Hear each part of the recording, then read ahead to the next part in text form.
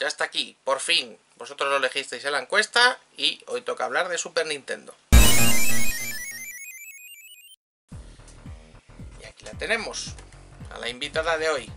Super Nintendo, Super Famicom para los japoneses y una cosa rara morada con forma de caja para los americanos, que también se llama Super Nintendo, ¿verdad? ¿Qué manía le tienes a la americana? eh? No le tengo manía, es que me gusta más este diseño. El de aquí. Una Bueno. cosa no la otra. Luego hablaremos, sí, claro. Luego hablaremos un poco de cosas de diseño también, porque la americana es así, pues tiene sus cosas. Bueno, ¿qué vamos a contar hoy? Fijaos, horas interpetuosas, ¿no se ve el reloj? No lo sé si se ve el reloj. No, no creo que se vea. Pero se ve la ventana, se ve que es de noche. Pero van a ser las 5 de la madrugada. Estamos La cerca hora buena para hacer vídeo. como siempre, la hora estupenda. 5 de la madrugada, por aquí detrás en la ventana iréis viendo cómo va amaneciendo lentamente a lo largo del vídeo. Porque como hacemos los vídeos cortos, Muy poético eso.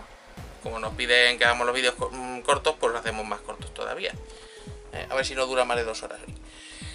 Bueno, pues aquí está. Últimamente llevamos una rachita que los hacemos de hora y media, ¿eh? Sí, bueno, pero ese es el largo del lunes. Que los quiera cortos, ya sabéis que entre semanas subimos algunos cortitos. Vamos ya con la individua o hay que hacer algunos saludos. Hay, hay que saludar. Hay Pues gente ala. que necesita ser saludada. Menos mal, esperando mucho tiempo los vídeos de Super Nintendo y bueno, pues mientras lo buscas tú, menos mal que por fin salió en la encuesta. Super Nintendo, porque es que vaya la de veces que ha estado ahí en la encuesta y no la habéis votado lo bastante. Y yo ya, pero Dios mío, ¿qué, le, qué pasa? ¿Por qué no votan a Super Nintendo? con lo bonita que es. Claro, pobrecita. Ya teníamos ganas de hablar de ella. Pues aquí está. Ahora, vienen los saludos. Tengo saludos aquí. Que no sé si alguno está repetido, pero bueno, da igual. Yo lo digo. Bueno, pues ala. Dice, muy buena pareja, soy Nak. Os sigo desde hace un par de años y me encanta vuestro contenido y aprendo muchísimo con vosotros. Sois un pozo de conocimientos y eso me flipa. Nunca había escrito nada, ni siquiera en comentarios, pero ahora en adelante intentaré apoyaros más porque creo que lo merecéis como un poco lo merecen. Si me saludáis en el vídeo de Super Nintendo estaría genial. Un abrazo y seguid así. Pues aquí está saludando en el vídeo de Super Nintendo. Ahí está. Otro dice, saludos Racarial, me llamo Star Wars Fuerza, mi consola favorita es la Super Nintendo. Siempre la voto y hacéis un análisis estupendo. Me gusta cómo Racar expresa su opinión con sentido del humor. Me hizo mucha gracia el vídeo de análisis y opinión de Resident Evil 7, Nocilla, Mentiras y Pintas de vídeo. Quiero que me saludéis cuando hagáis la opinión de Super Nintendo. Gracias. Va por ahí, hablando de Super Nintendo.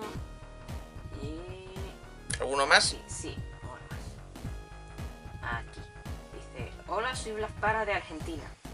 Quiero que me saluden en cualquier vídeo, no hay drama. Me encantan sus vídeos porque como trabajo de noche me hacen compañía y de paso aprendo un montón. Pregunto, ¿qué juegos indie jugaron? Pues mira, Mucho, mucho. lo ve de noche y nosotros lo grabamos de noche. Sí, el acompañamiento. Un montón de juegos. Pero bueno, Mucho. sobre todo tú. También me encanta. Yo, yo menos, pero tú más. Tú eres más de indies. Bueno, pues vamos ya con la invitada de hoy. ¿No? Ya habíamos hablado de Mega Drive en su día, desde entonces pues yo quería hacer el de Super, digo, para tener equilibrio, pero oye, como hacíamos por encuesta, pues bueno, aquí está. Empezamos con nuestra infancia. ¿Quieres empezar tú con tu infancia con la Super? No hay infancia con la Super, pero en tu Le caso, estoy viendo ¿verdad? la carita. Sí, es que ella dice que si la pones así, Así no. Así. Si le das la Es vuelta- una carita con una nariz gorda y unos ojitos tristes. dice que se ve una cara. Con la boquita así tristona. Bueno, ¿qué pasó en tu infancia con la Super? ¿O no hubo infancia con la Super? Cuéntalo. Pues mi infancia con la Super, nada más que ya no era tan infancia. Y el que luego se terminó convirtiendo en mi tío, que en aquel entonces era novio de mi tía, tenía una. Y muchas veces iba con mi tía a su casa y no sé qué hacían ellos, pero a mí me dejaban en el cuarto cerrado con la Super y yo jugaba a la Super. Si van a jugar a la NES, por supuesto. Mientras ellos jugaban No sé- a la NES, pues no sé te dejaban a ti la Super. No sé qué hacían. No, la verdad es que nunca me lo pregunté. Qué. Pero yo Bueno. jugaba a la Super. Claro, muy bien. Bueno, ¿y qué? y eso. ¿Y a qué juego jugaste? A Super Mario World y al Jurassic Park. Al primer Jurassic Park. Eso eran los que tenía y eso eran los que yo jugaba. ¿Y algo más?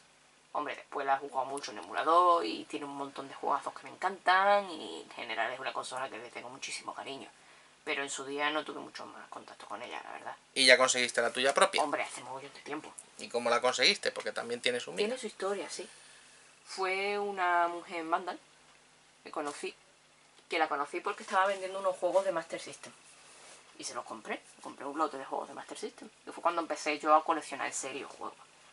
Sería 2004 o 2005, una cosa así. Y hablando con ella, me dijo, pues mira, tengo una Super Nintendo con el Donkey Kong, así, Donkey Kong, Donkey Kong. que me hizo mucha gracia lo de Donkey Kong, porque Yo- me yo imaginaba a Donkey Kong con un sombrero de, de copa y en plan señorito. Yo conocía a uno que lo llamaba Don Kong Country. Donkey Kong Country también. Es que no sé por qué se le llama tan raro los Donkey Kong, pero bueno. Eso, que tenía la Super Nintendo y que la familia le estaba obligando a deshacerse de las consolas porque su marido no entendía que jugase, jugase tanto. Entonces me dijo... Eso, la típica historia que anda por ahí siempre de, ay, es que yo tenía mi colección, pero mi mujer se hartó un día y me dijo que la vendiera. Pues Pues como podéis ver, también pasa al revés. Sí. Esta señora que tenía hijos, además, un hijo más o menos de mi edad, y me dijo, yo te regalo la Super Nintendo, te la envío con, con los juegos de Mega Drive, de Master System que me has pillado, con la condición de que te cases con mi hijo. Le dije, venga, vale. Y me mandó la Super Nintendo y, y nunca más supe de ella. No era yo, No, no era yo. no, no conocía a su hijo ni nada. Bueno, pero te llevaste a Super Nintendo. Sí. La Super Nintendo con el Donkey Kong Country. Eso fue como los tratos de los tratos de casamiento de estos. Sí. Lo que pasa que no lo cumpliste. Pero bueno, yo creo que la mujer lo decía broma, obviamente. Hombre, evidentemente. Bueno, ¿y qué más? Mario Paint, ¿di? ¿Has El dicho? Mario Paint con el ratón, sí. ¿Y, ¿Y qué más? El Donkey Kong Country 3.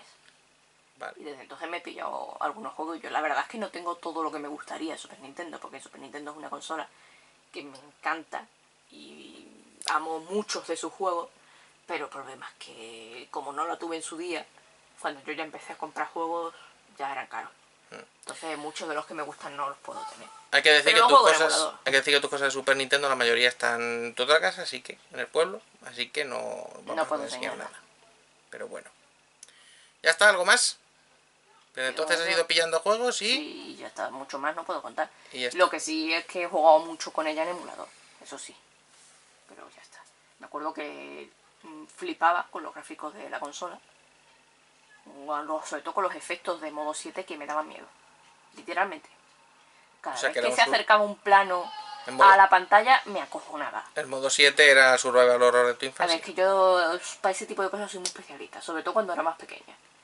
Las pantallas negras y los efectos que se salen de un poco de lo normal mm, me ponen nerviosa y me acojonan. Bueno, pues como a ti el modo 7 de la Super Nintendo te daba miedo en tu infancia, entonces el modo 7 de Super Nintendo es una obra maestra del terror y del survival horror y suspense. Y hay que volver a ello, ¿no? La Super NES Mini pues tiene que dar miedo. Ya no me da miedo, pero cuando lo empecé a jugar al ordenador, sí. Que no, que no, a la Super NES Mini hay que jugar en primera persona con VR y con mucho miedo y mucho susto. ¿Verdad? Bueno, entonces ¿qué? ¿Ya está? ¿Te has acabado tu parte de tu historia con la Super? Hombre, Por lo menos en la época. en la época sí, después sí he tenido un montón de, De, historias de su momento Super. no recuerdas mucho. Es que en su momento, cuando estaban las dos en, en Vigo, no... Tú estabas ausente, jugando Yo, arcades y a la yo Master jugaba System. arcade en Master System y Game Boy, ya está. Lo que sí, tuve un poco más de contacto con ella, aunque ya la conocía, porque ya había jugado ahí y ya jugaba en ordenador, en emulador. Yo empecé a jugar con emuladores en el 97. Tanto el de Mega Drive, el disco que el de 300 juegos, como Super Nintendo. Y ahí sí conocí más. Y cuando salió el Nintendo 64, por ejemplo, yo ya conocía Super Nintendo. Y en el vídeo este de alto riesgo, que es donde conocía Nintendo 64, salían a juego, algunos juegos de Super que me molaron y me los bajaba en emulador y los probaba. Bueno, pues empiezo yo. Empieza tú. Si tienes una historia más interesante, seguro. Yo Super Nintendo mm, realmente la viví lo que es el lanzamiento aquí, porque me pilló justo cuando me metí de lleno en las consolas. Llevo un montón de tiempo jugando, pero cuando ya me metí de lleno, activamente, fue justo en el eh, cuando pilló todo el lanzamiento y, y me acuerdo perfectamente de todo. Aquellos vídeos promocionales de aquel Mario que hablaba tan raro y decían cosas tan extrañas, ¿no? Como que tenía sonido en calidad CD y cosas así. Tenía, me acuerdo que decían que tenía 5 microprocesadores. Oh, 5 microprocesadores. No es Y- mentira, ¿eh? Sí, pero claro, te lo decían como, yo qué sé, como este coche tiene tres turbos y modo hiperespacial y cosas así. es que el funcionamiento interno de Super Nintendo es muy interesante. sí, pero ellos no te decían, mira, tienes este procesador. No, ellos decían, ahí toma microprocesadores, hinchate a CPUs y a cosas de todo. Eran los vídeos de la época, promocionales. Los bits y los, y los megas. Tiene su encanto, ¿eh? Pero bueno, pues mm, ya digo que fue, me pilló con el lanzamiento y Super Nintendo para mí fue algo que siempre estuvo ahí.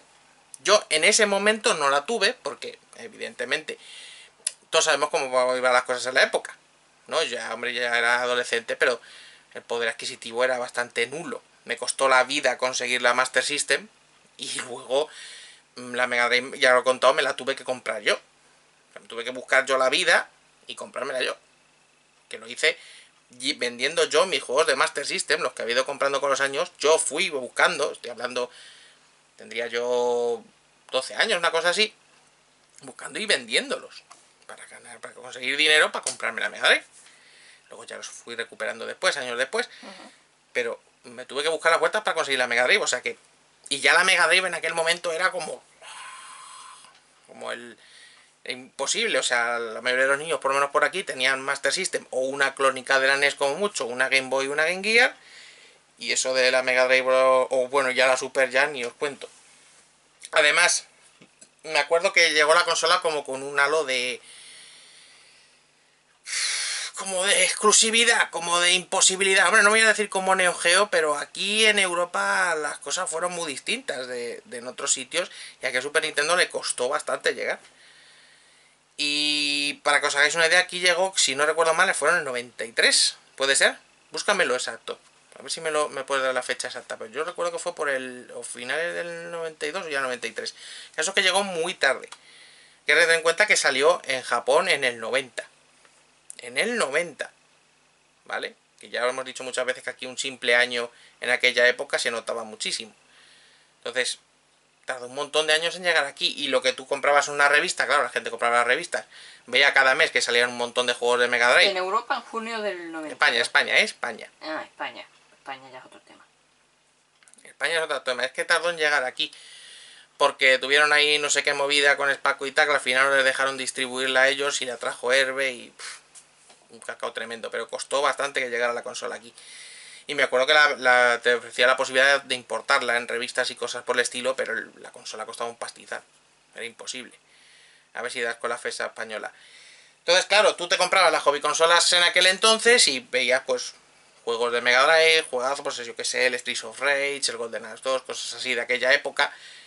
Y Super Nintendo era como esa cosa que viene de Japón, que está en Japón, que solo los japoneses pueden disfrutar, que está llegando ahora a América y que a lo mejor algún día llega aquí. De hecho, en, algunas revistas apuntaban de decir, bueno, pues se estima que llegará aquí para el 94, una cosa así, o 93, 94, final del 93. Pues qué barbaridad. Pues claro, lo que pasa es que mucha gente, pues, optamos por la Mega Drive. Precisamente por eso. Entonces, eso precisamente le daba ese aire a Super Nintendo de como de algo que no ibas a alcanzar fácilmente, ¿no? y más para chavalillos, chavalillos que éramos entonces. Entonces, conseguir una sola de estas ya era un prodigio. Luego sí, luego ya la consola, una vez llegó aquí, ya fue luego bajando de precio y mucha gente se la compró. Y así entró y fue la entrada más grande de Nintendo aquí, hasta el momento. Ya digo que aquí NES no tuvo algo más complicado, pero ya con Super Nintendo ya consiguió meter cabeza y abrieron Nintendo España y todo eso. Pero digamos que eso, que tenía ese aire de, de imposible, ¿no? De, cosa imposible. De consola de niño de dinero, una cosa así. ¿Eh? ¿Lo encuentras? No. ¿No encuentras la fecha de lanzamiento en España? En España no. Tiene que estar. Bueno, mientras ella lo busca, se pelea con Google. Vamos a seguir contando. Bueno, si no es el... Yo recuerdo que fue por esas fechas más o menos. 92, principios del 93. Pues bueno, ya digo que entonces me costó la vida conseguir Mega Drive y por supuesto, pues seguí con lo que yo había escogido. En aquel entonces era la que más me interesaba. Y aunque no tuve mi propia Super Nintendo hasta unos años después, luego ya contaré cómo la conseguí, ya digo que siempre estuvo ahí. Siempre estuvo ahí. Mi vecino, por ejemplo, se pilló una, se compró una. Uno de los amigos míos que me metió en, esto de las consolas también tenía, se la acabó comprando. De hecho, es esta.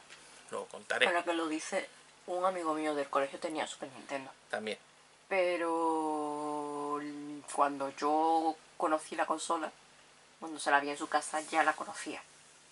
O sea que yo ya la había jugado en emulador y tal. No me pillaba de nueva.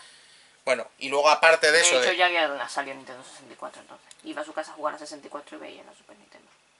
Ya. Sí. Bueno, pues luego aparte de, de eso, de amigos y cosas así, Yo he contado muchas veces que me movía muchísimo por la tienda del barrio de aquel entonces y por supuesto ahí estaba la Super Nintendo. La Mega Drive y la Super Nintendo estaban puestas todo el día. Ya por la mañana encendía los dos expositores y hasta que cerraba la tienda por la noche. Entonces, claro, era algo que siempre estaba ahí. Y te compraba revistas, las hobby consolas y estaban siempre sus juegos ahí. O sea que estaba activamente con ella aún sin tenerla. Pasa que, claro, yo cuando me vienen ahora con las, las peleas de fanboys y el no sé qué y tal, yo en cierto modo lo comprendo, sé de dónde viene todo eso porque yo también tuve esa época en aquel entonces. Yo había tirado por las consolas de Sega porque me llamaban mal los juegos y todos sabemos lo que pasaba en aquel entonces. No podías tener la otra, pues bueno, pues estaba con el pique, con el otro, que si no sé qué, que si este es mejor que aquel y cosas así. Eso lo, lo sabemos todos. ¿Qué es lo que pasa? Que a mí ese pique me pilló de lleno con la propia Super Nintendo. Fue cuando yo entré. Pero es curioso porque fue la propia Super Nintendo la que pocos años después me hizo comprender que eso era la mayor tontería del mundo, que era una chiquillería que bueno, cuando éramos pequeños estaba muy bien. Y dije, pues bueno, no la pude tener en su momento, pero ojalá la hubiera tenido unos años antes. Y con el combo de Mega Drive y de Super Nintendo habría sido el, el tío más feliz del mundo. Y el que diga que no, yo lo siento, pero yo creo que miente, ¿no? Yo creo que cualquier niño o adolescente de la época o adulto habría dado lo que fuera por tener las dos. Eso ya lo hablamos aquí en el vídeo de su época de cuando hablamos de Mega Drive y Super Nintendo. Y, y yo creo que por mucho que uno se deje por favoritismos o lo que sea marcas, cualquiera habríamos dado lo que fuera por tener las dos. Y bueno, precisamente por eso, a partir de que la conseguí y la empecé a conocer. Que ahora contaré cómo la conseguí. ¿Encuentras, ¿Encuentras la fecha o qué? No, no está por ningún sitio. Entonces, ¿Cómo no va a estar en en ningún- Europa eh, a finales del 92, pero no en una fecha concreta y no de España. Pues entonces será más o menos cuando yo digo finales del 92, principios del 93. Aquí a lo mejor llega un poco más tarde. Pero vamos, yo creo que el dato lo he encontrado yo hace poco por ahí. Lo que pasa es que estoy caraja porque ya estoy No, viejo y se me ha olvidado. No lo encuentro. Hace poco lo estuve yo mirando por ahí. No lo encuentro. Bueno, pues nada, pues no lo encuentras. De hecho, todo lo que me sale es de la Super Nintendo Mini. Google está minado. Busca Super Nintendo y nada más que te salen web hablando de que van a sacar el lanzamiento de la Super Bueno, Nintendo pues Mini. yo creo que fue eso, finales del 92, principio, si acaso, del 93 cuando llegó aquí. No sería más.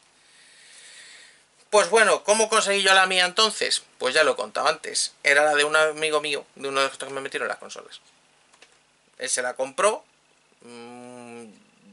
más o menos allá por el 94, 95 puede ser. Y la tuvo durante ese tiempo hasta que luego se compró la PlayStation.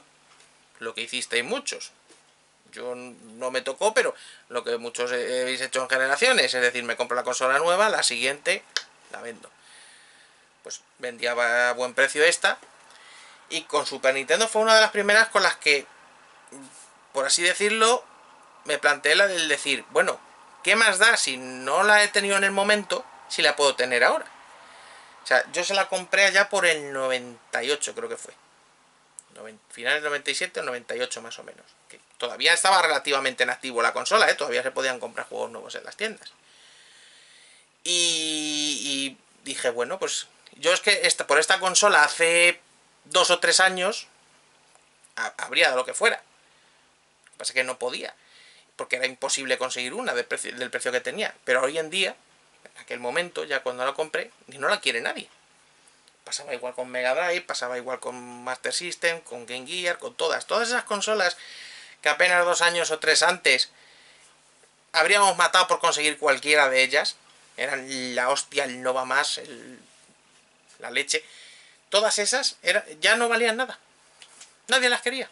Ya había estaba ahí la, la Play, la Saturn, la 64. Ya nadie quería esas. Y lo que hacían era venderlas para comprarse, por, por cuatro duros, para comprarse juegos de las nuevas. Entonces dije, pues mira, a mí no me importa que se queden viejas o desfasadas o que se rían de mí, que lo hacían por jugar con juegos viejos, viejos que a lo mejor tenían tres años, ¿eh? porque eran de la generación anterior.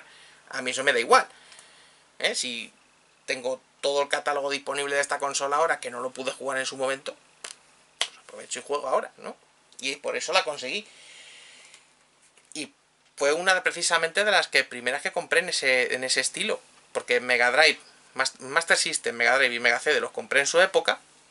Luego compré Saturn. y PlayStation. Y ya a partir de ahí fue cuando vi esto. Estaban tiradas, que nadie las quería y empecé a comprar las que no había podido conseguir. Conseguí Gear, conseguí Super Nintendo, conseguí 32X, conseguí esta cosita que tengo aquí. Que también aprovecho de paso a enseñarla, que es el Super Game Boy. Y con esto conseguí Game Boy también. Porque dije, oye, mira, con un cacharrito de nada, pues tengo todo el catálogo de Game Boy ahí.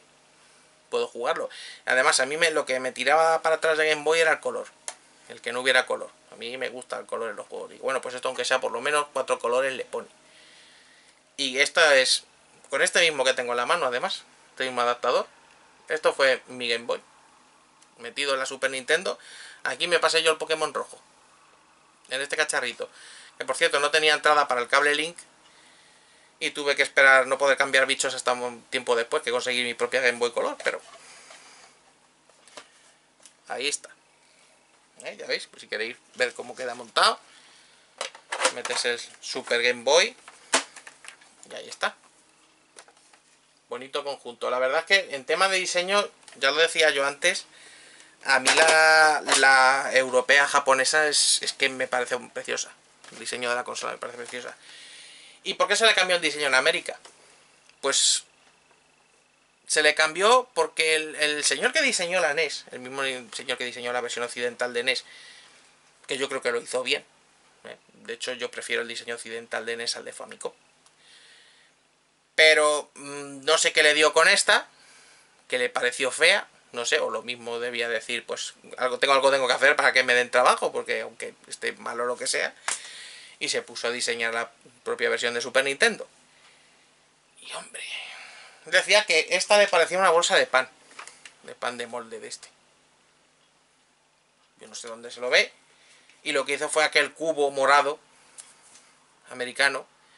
Que, bueno, le tendréis el cariño que queráis. Yo solo respeto al máximo, pero me quedo con esta. A mí me gusta la americana. No te digo que me guste más que esta, pero no me parece fea. Los botones rosas y morados. Sí, me llama la atención. Es rara, me gustan las cosas raras, tiene un, así un aspecto como futurista extraño. Extraño, sobre todo. No sé. No, prefiero esta. No es que sea te exploten las, cuencas oculares si la ves, pero prefiero esta. ¿Eh? ¿Qué sigue? ¿Buscando el dato? No. ¿Te buscando ahí en el móvil?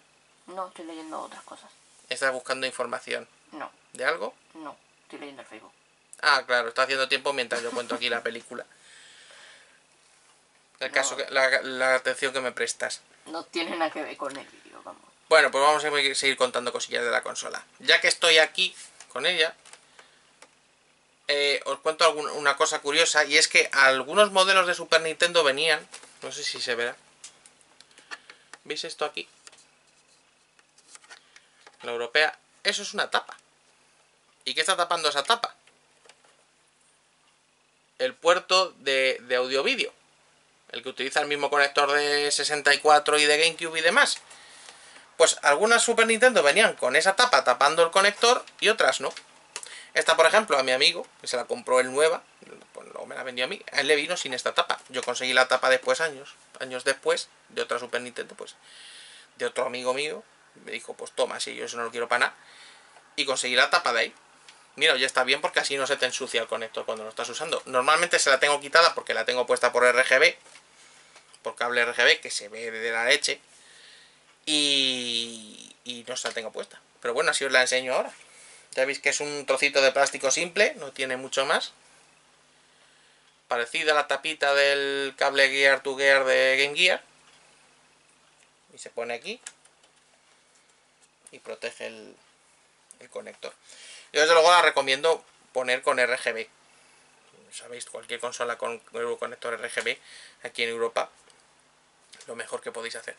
Hay otras opciones, ya hemos hablado alguna vez de ellas, como adaptadores mm, para HDMI, mm, rescaladores, hay modificaciones, hay una panoplia tremenda de dispositivos y soluciones para poder poner en una tele de hoy en día. ¿eh? No hace falta que os volváis locos y digáis, ay, es que como no puedo poner esa en una tele de ahora, pues me compro la Super NES Mini y ya está, y no puedo jugar con la original porque no puedo, porque no tengo una tele antigua, no tiene nada que ver. Yo juego en la tele moderna esta con todas, incluida con esta. Lo que pasa que, bueno, hay que mm, aventurarse un poco y buscarse soluciones, ¿no? Y bueno, yo cuando la conseguí, pues fijaos en aquella época. Atención a la época en la que yo conseguí Super Nintendo. Ya tenía, aparte de Master System, Mega Drive, Mega CD, Saturn y PlayStation, o sea, en aquella época. Luego poco después conseguí también Nintendo 64 y Dreamcast. Pero bueno, en ese momento fue cuando yo empecé a descubrir Super Nintendo. Y con, digamos, esa competencia, ¿no? Imaginaos a alguien que tenía Saturn y PlayStation poniéndose a jugar con juegos de Super Nintendo en aquel entonces. Sí, era un bicho raro, que no vamos a hacer, era así. Pero oye, yo cogí el, el Kirby's, el, el Superstar Ultra, que aquí se llama Fan Pack, que me vino con... Lo conseguimos con la consola, después, poco después, el cartucho. Y yo flipé con ese juego. Yo creo que fue el, el primero que realmente me dijo... Qué pena no haber tenido esta consola antes porque es que es una pasada. Yo creo que es de mis plataformas favoritos de, de 16 bits. No, no voy a enseñar muchos juegos hoy porque tenéis el vídeo de colección y además haremos más adelante vídeo actualizado, ¿verdad? Porque hemos conseguido un montón últimamente. Pero bueno. Y parece que la racha sigue últimamente. No sé por qué pasa, que vemos muchos Eh, cartuchillos en gran medida por Juan. también. Pero bueno, Ayuda. tema de conseguir juegos. ¿Qué es lo que pasa? Pues bueno, durante un tiempo fueron relativamente fáciles de conseguir. ¿eh? Tú ibas a un Cash Converters, tenías la hilera de cartuchos de Super Nintendo a 5 euros, 3, 5 euros, una cosa así. Podías coger los que quisieras y llevártelos. Yo he comprado muchos juegos completos, la mayoría de juegos completos que tengo los he comprado en esa época. Digamos en la época buena, cuando nadie lo quería. Entonces, era cuando se podía aprovechar. Que lo que pasa que luego empezó a subir todo esto y es imposible. Y hoy en día es curioso porque es que la diferencia en Super Nintendo, el, el tema de la caja y el del manual se paga carísimo. Las cajas de cartón, o sea, en NES también, pero en Super Nintendo es que es demencial. Es demencial. La diferencia entre comprar un cartucho suelto o comprarlo completo pueden ser 100 euros en el precio o más. Es que en proporción al precio del juego puede pff, cuadruplicar o más el precio del, del juego. Se paga caro el cartón y el papel en Super Nintendo, ¿verdad? Muy caro. Parece oro el, el cartoncito. Pues sí, entonces yo hasta entonces pues la mayoría de los juegos los tenía completos, con su caja y todo porque los había conseguido baratos. Pero a partir de esta locura dije, se acabó. A mí nunca me importa que fuera solo cartucho, pero dijo, ahora sí que sí, cartuchos sueltos. Poco, salvo casos muy concretos y, y que me han salido muy bien de precio, desde entonces poco se compra completos, ¿verdad? Pero es que es una barbaridad. Vamos a enseñar por aquí. Aquí tengo algunas. Vamos a enseñar primero los cartuchos. Para que veáis diferencia. Aquí tengo precisamente uno de los últimos que. Bueno, el último que hemos conseguido. El más reciente, ¿no? Este hace unos días que llegó. Nada más. El Kirby's. El Kirby's, el Krusty Funhouse. Este juego lo tenía por allá en Master System. Y me acuerdo que en su día me llamaba bastante la atención. Me ha gustado siempre los Simpsons. Y, y me acuerdo cuando lo veía en revistas y demás, pues me, me gustaba bastante. Me llamaba mucho la atención, pero no lo pude jugar. Ya digo que tengo ahí el de Master System y me hubiera gustado conseguir alguna versión más, pero oye, he visto, vimos el de Super Nintendo relativamente barato, que fueron 15 euros, ¿no? ¿Eh? Hmm. El cartuchillo suelto, que bueno, es más o menos lo que te puede costar por ahí, pero bueno, pues lo compras en persona y te hace ilusión, no te lo esperas encontrártelo. El juego está bastante bien. Es de como una especie de mezcla de plataformas y puzzles. Vas con Krusty, tienes que ir mm, colocando trampas y cosas para que los ratones vayan. Es como una especie de lemmings, una cosa así. Para- pero lo que pasa es que en vez de salvarlos, pues tienes que ir a cargártelos. Imaginaos una especie como de chuchurroques, pero de plataformas. ¿no? Tú vas guiando a los ratones con mecanismos y demás hasta la máquina que se los carga. Y allí pues estaba para cepillarse pues ese es el juego este. Y la verdad que vicia bastante. El, las mecánicas de puzzles tiene muy de, muy de pesar y muy de. También de habilidad de plataformas. Y está bastante chulo. La verdad es que si lo hubiera tenido en la época me hubiera. me hubiera enganchado bastante, habría sido mi favorito.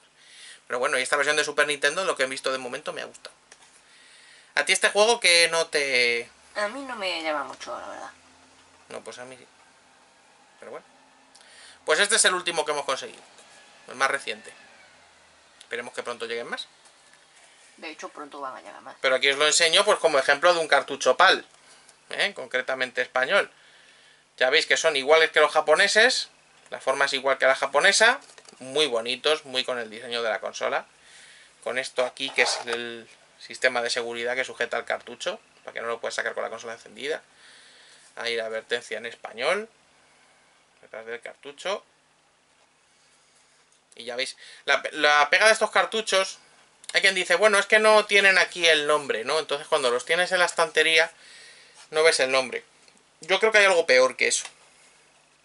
Y es que, como veis, son curvos por aquí. ¿eh? Y por aquí también. Entonces, más que el problema de que no se vea el nombre aquí, porque bueno, incluso a lo mejor le puedes poner una pegatina o simplemente sacas y miras cuál es. Más que eso, el problema es que se cae para acá. Tú lo pones así y él sin perra en caerse para acá. Aparte que te hace aquí como un hueco, ocupa más espacio del que debería. No sé si veis ahí redondeado, pero bueno. En eso, pues digamos que los americanos son más prácticos. Voy a coger un cartucho americano para que lo veáis. Digamos que en eso son más prácticos porque tienen el, el label este, el nombre en el canto, y a ser cuadrados, pues digamos que se pueden almacenar un poquito mejor. Voy a coger un cartucho americano.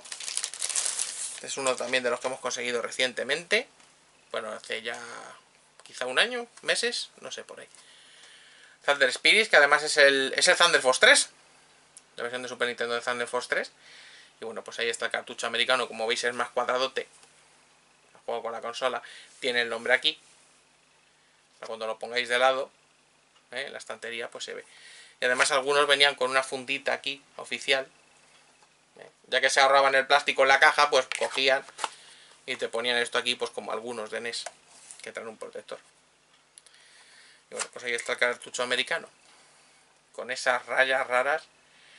Que a ver, ya digo que el diseño americano no es que me disguste, pero sinceramente prefiero el de aquí. Es raro. ¿eh? El diseño americano es raro. ¿No?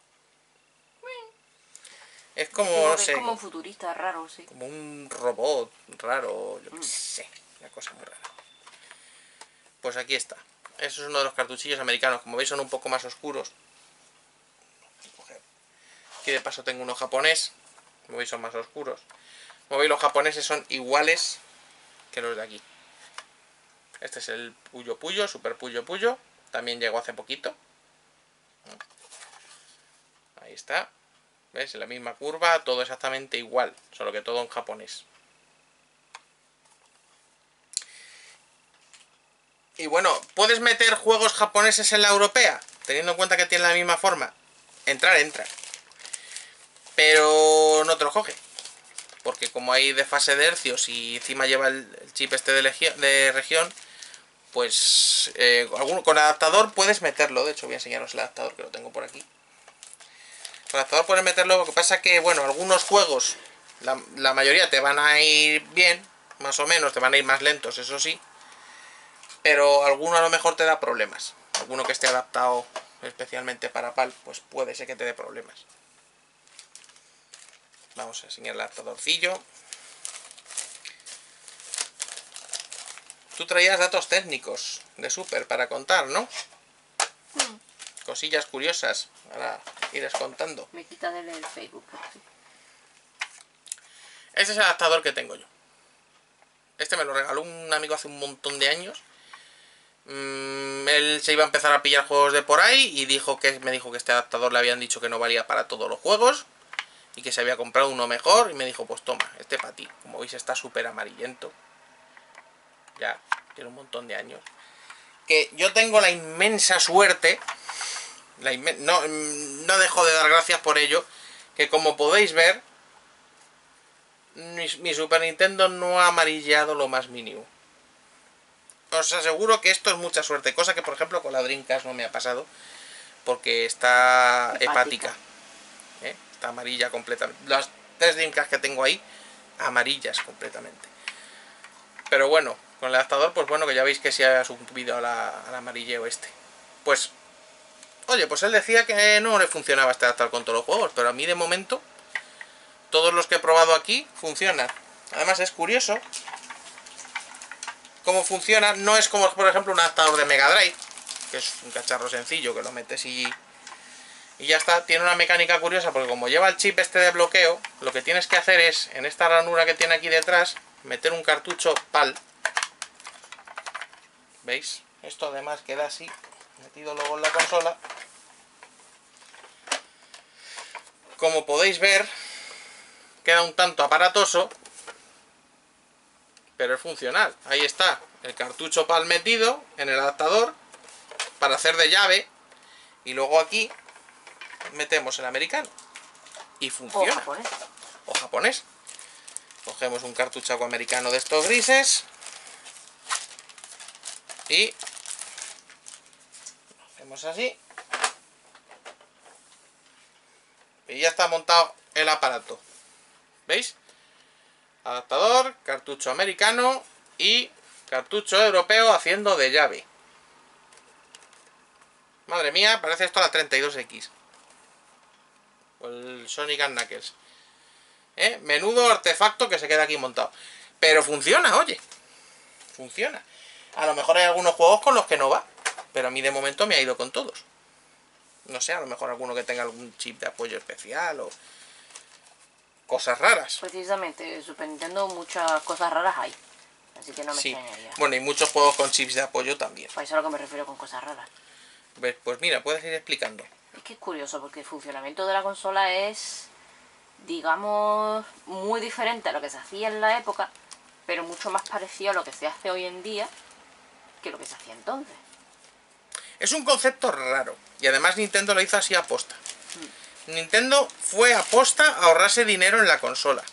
Es decir, ellos mismos lo dijeron, pusieron un procesador más barato, todos unos componentes, excepto quizás quizás los chips gráficos y eso, que era lo más espectacular, lo que más llamaba la atención de la consola, o el de sonido. Digamos que fueron a, lo- a los componentes más económicos, para intentar ofrecerle a un precio razonable, que luego aquí a Europa llegó bastante cara. Pero bueno, eso es otro, esa es otra historia. La importación se paga. Eso es. Pero la cosa es que la idea que tenía Nintendo era luego la de tirar estos chips de apoyo. Es decir, de metértelo en el juego. Y de cobrártelo en el juego. Y lo hacíamos. Y lo hacían. Y bueno, los juegos de Super Nintendo... Sabías que traían algo en cuanto veías el precio. Igual. Ellos podían enseñarte allí el juego más bonito del mundo con unos graficazos, algo todo espectacular. Pero si veías que costaba a lo mejor 12.000 pesetas o 15.000, dices, eso trae algo ahí seguro. Vete tú a saber qué. El chip no sé cuántos, el mapper de tal, o que sea, cualquier cosa. Pero eso trae algo ahí seguro porque me lo están clavando a base de bien. Y eran caros, eran caros. O sea, cuando salía un, algún juego así grande, importante, eh, se disparaban bastante los precios. ¿Verdad? En su día sí. Luego encima aquí teníamos un problema. Yo no sé si Nintendo lo hacía aposta para favorecer sus propios juegos, pero cualquier juego que no fuera de Nintendo costaba verlo en tiendas. Costaba relativamente verlo en tiendas, a no ser que fuera algo, por ejemplo, como algo de Electronic Arts, que lo distribuían ellos mismos, tuvieran una buena distribución. Si no era de Nintendo, a lo mejor tenías que moverte un poco para encontrarlo, porque llegaban muy pocas unidades y volaban. Por ejemplo, con los juegos de Konami, ¿por qué muchos de esos juegos hoy en día cuestan un pastizal? Porque la distribución era bastante escasa. Pero es que yo, yo me acuerdo en la época de venir la gente, sobre todo con, con RPGs y cosas así, de venir la gente a la tienda de barrio donde me movía yo a buscar juegos concretos. Es que no lo encuentro, no acaba de salir y no lo encuentro en ninguna tienda. Y venir allí a buscarlo y tener que encargarlo, que se lo trajeran y, y llevárselo. Porque allí lo que tenían en la tienda eran los típicos de, de Nintendo. Tenías el Super Mario Kart, Super Mario World, mm, el Zelda, el Metroid, lo típico que era de Nintendo, pero otros, salvo juegos de fútbol y cosas así, que ya digo que tuvieran una distribución aparte, costaba verlos. No sé si era cosa de Nintendo que los distribuía así, aquí en España por lo menos. Pero a veces costaba lo suyo. Que es una cosa que a mí me llamaba la atención. Por ejemplo, en Mega Drive no, yo no noté esa, esa dificultad para conseguir juegos que no fueran de Sega. Parece ser que tenían otro tipo de distribución. No sé exactamente por qué pasaba. Pero con algunos juegos pasaba. Lo cual hoy en día hace que todavía sean más caros. ¿Verdad? Y también privó a muchos, y digo a muchos usuarios de Super Nintendo aquí en España, de conocer mm, juegos oscuros. Lo que podríamos llamar juegos oscuros. Juegos raros. Juegos raros. Que con oscuro la gente luego se piensa que estás hablando de juegos con sangre y cosas de eso. No, no, no, o sea, juegos poco conocidos. Entonces Super Nintendo tiene un catálogo descomunal. O Mega Drive, por ejemplo, y tienes montones y montones de juegazos que no son los de siempre. O sea, tienes Super Metroid, Zelda, Mario Kart, eso los tienes. Pero aparte de eso, tienes un montón de joyas ocultas, que son poco conocidas, que tú muchas de ellas las has conocido con ese emulador, por cierto. Y eso luego no los ves en la lista de los mejores juegos de la consola. Te ves mm, 20 listas de los mejores juegos de la consola, de los 10 mejores juegos de la consola, y son siempre los mismos. Siempre son los mismos juegos. Y dices, ¿pero qué pasa? ¿Que en Super Nintendo no hay más que estos juegos de siempre? No, vaya que sí los hay. Lo que pasa es que yo no sé si es que la gente no jugaba con ellos en la época, no pudo conocerlos o lo que sea, por... No sé si pasaría como en otras partes como aquí, con temas de distribución o lo que sea, pero siempre se encabezonan en esos mismos juegos. Y de hecho, digamos que los cegueros son muy de llegar y decir, "Bah, es que la Super Nintendo solo tiene los 10 o 20 juegos que dicen siempre, no tiene nada por ahí secreto, tal. Con Mega Drive me pongo a buscar y me encuentro un montón de joyas. Sí, un carajo. Y es así, en Mega Drive sí, pero que con Super Nintendo también. Super Nintendo hay mogollón. Sobre Claro. todo si te pones a explorar el catálogo japonés, hay cosas alucinantes Son- que no las conoce ni Cristo. Exactamente, son totalmente equiparables las dos. O sea, no me digáis, no, es que hay un montón de joyas ocultas en una y en la otra no, porque es que en las dos las hay. Ya os digo yo que a poco que os pongáis a buscar, vais a encontrar juegazos que os van a encantar. Eso sí, mm, conviene aprender japonés. Eso sí. Es que Super Nintendo es muy de RPGs. Ahí está, hay mucho RPG, hay incluso visual novel, un montón de juegos de estrategia, hay cosas muy chulas y bizarradas muy chulas, pero en japonés. Y claro, algunas se pueden jugar perfectamente Hay traducciones, en japonés que se puedan traducciones jugar. también. También hay muchas traducciones, pero hay muchos que son injugables, desgraciadamente. Pues sí. Si no sabes japonés, claro. Eh, por ejemplo, esto que comentaba antes de los RPGs, se suele decir que Super Nintendo era para los RPGs y Mega Drive para los arcades. A ver, en, Super Nintendo hay arcades a punta pala y en Mega Drive hay RPGs a punta pala.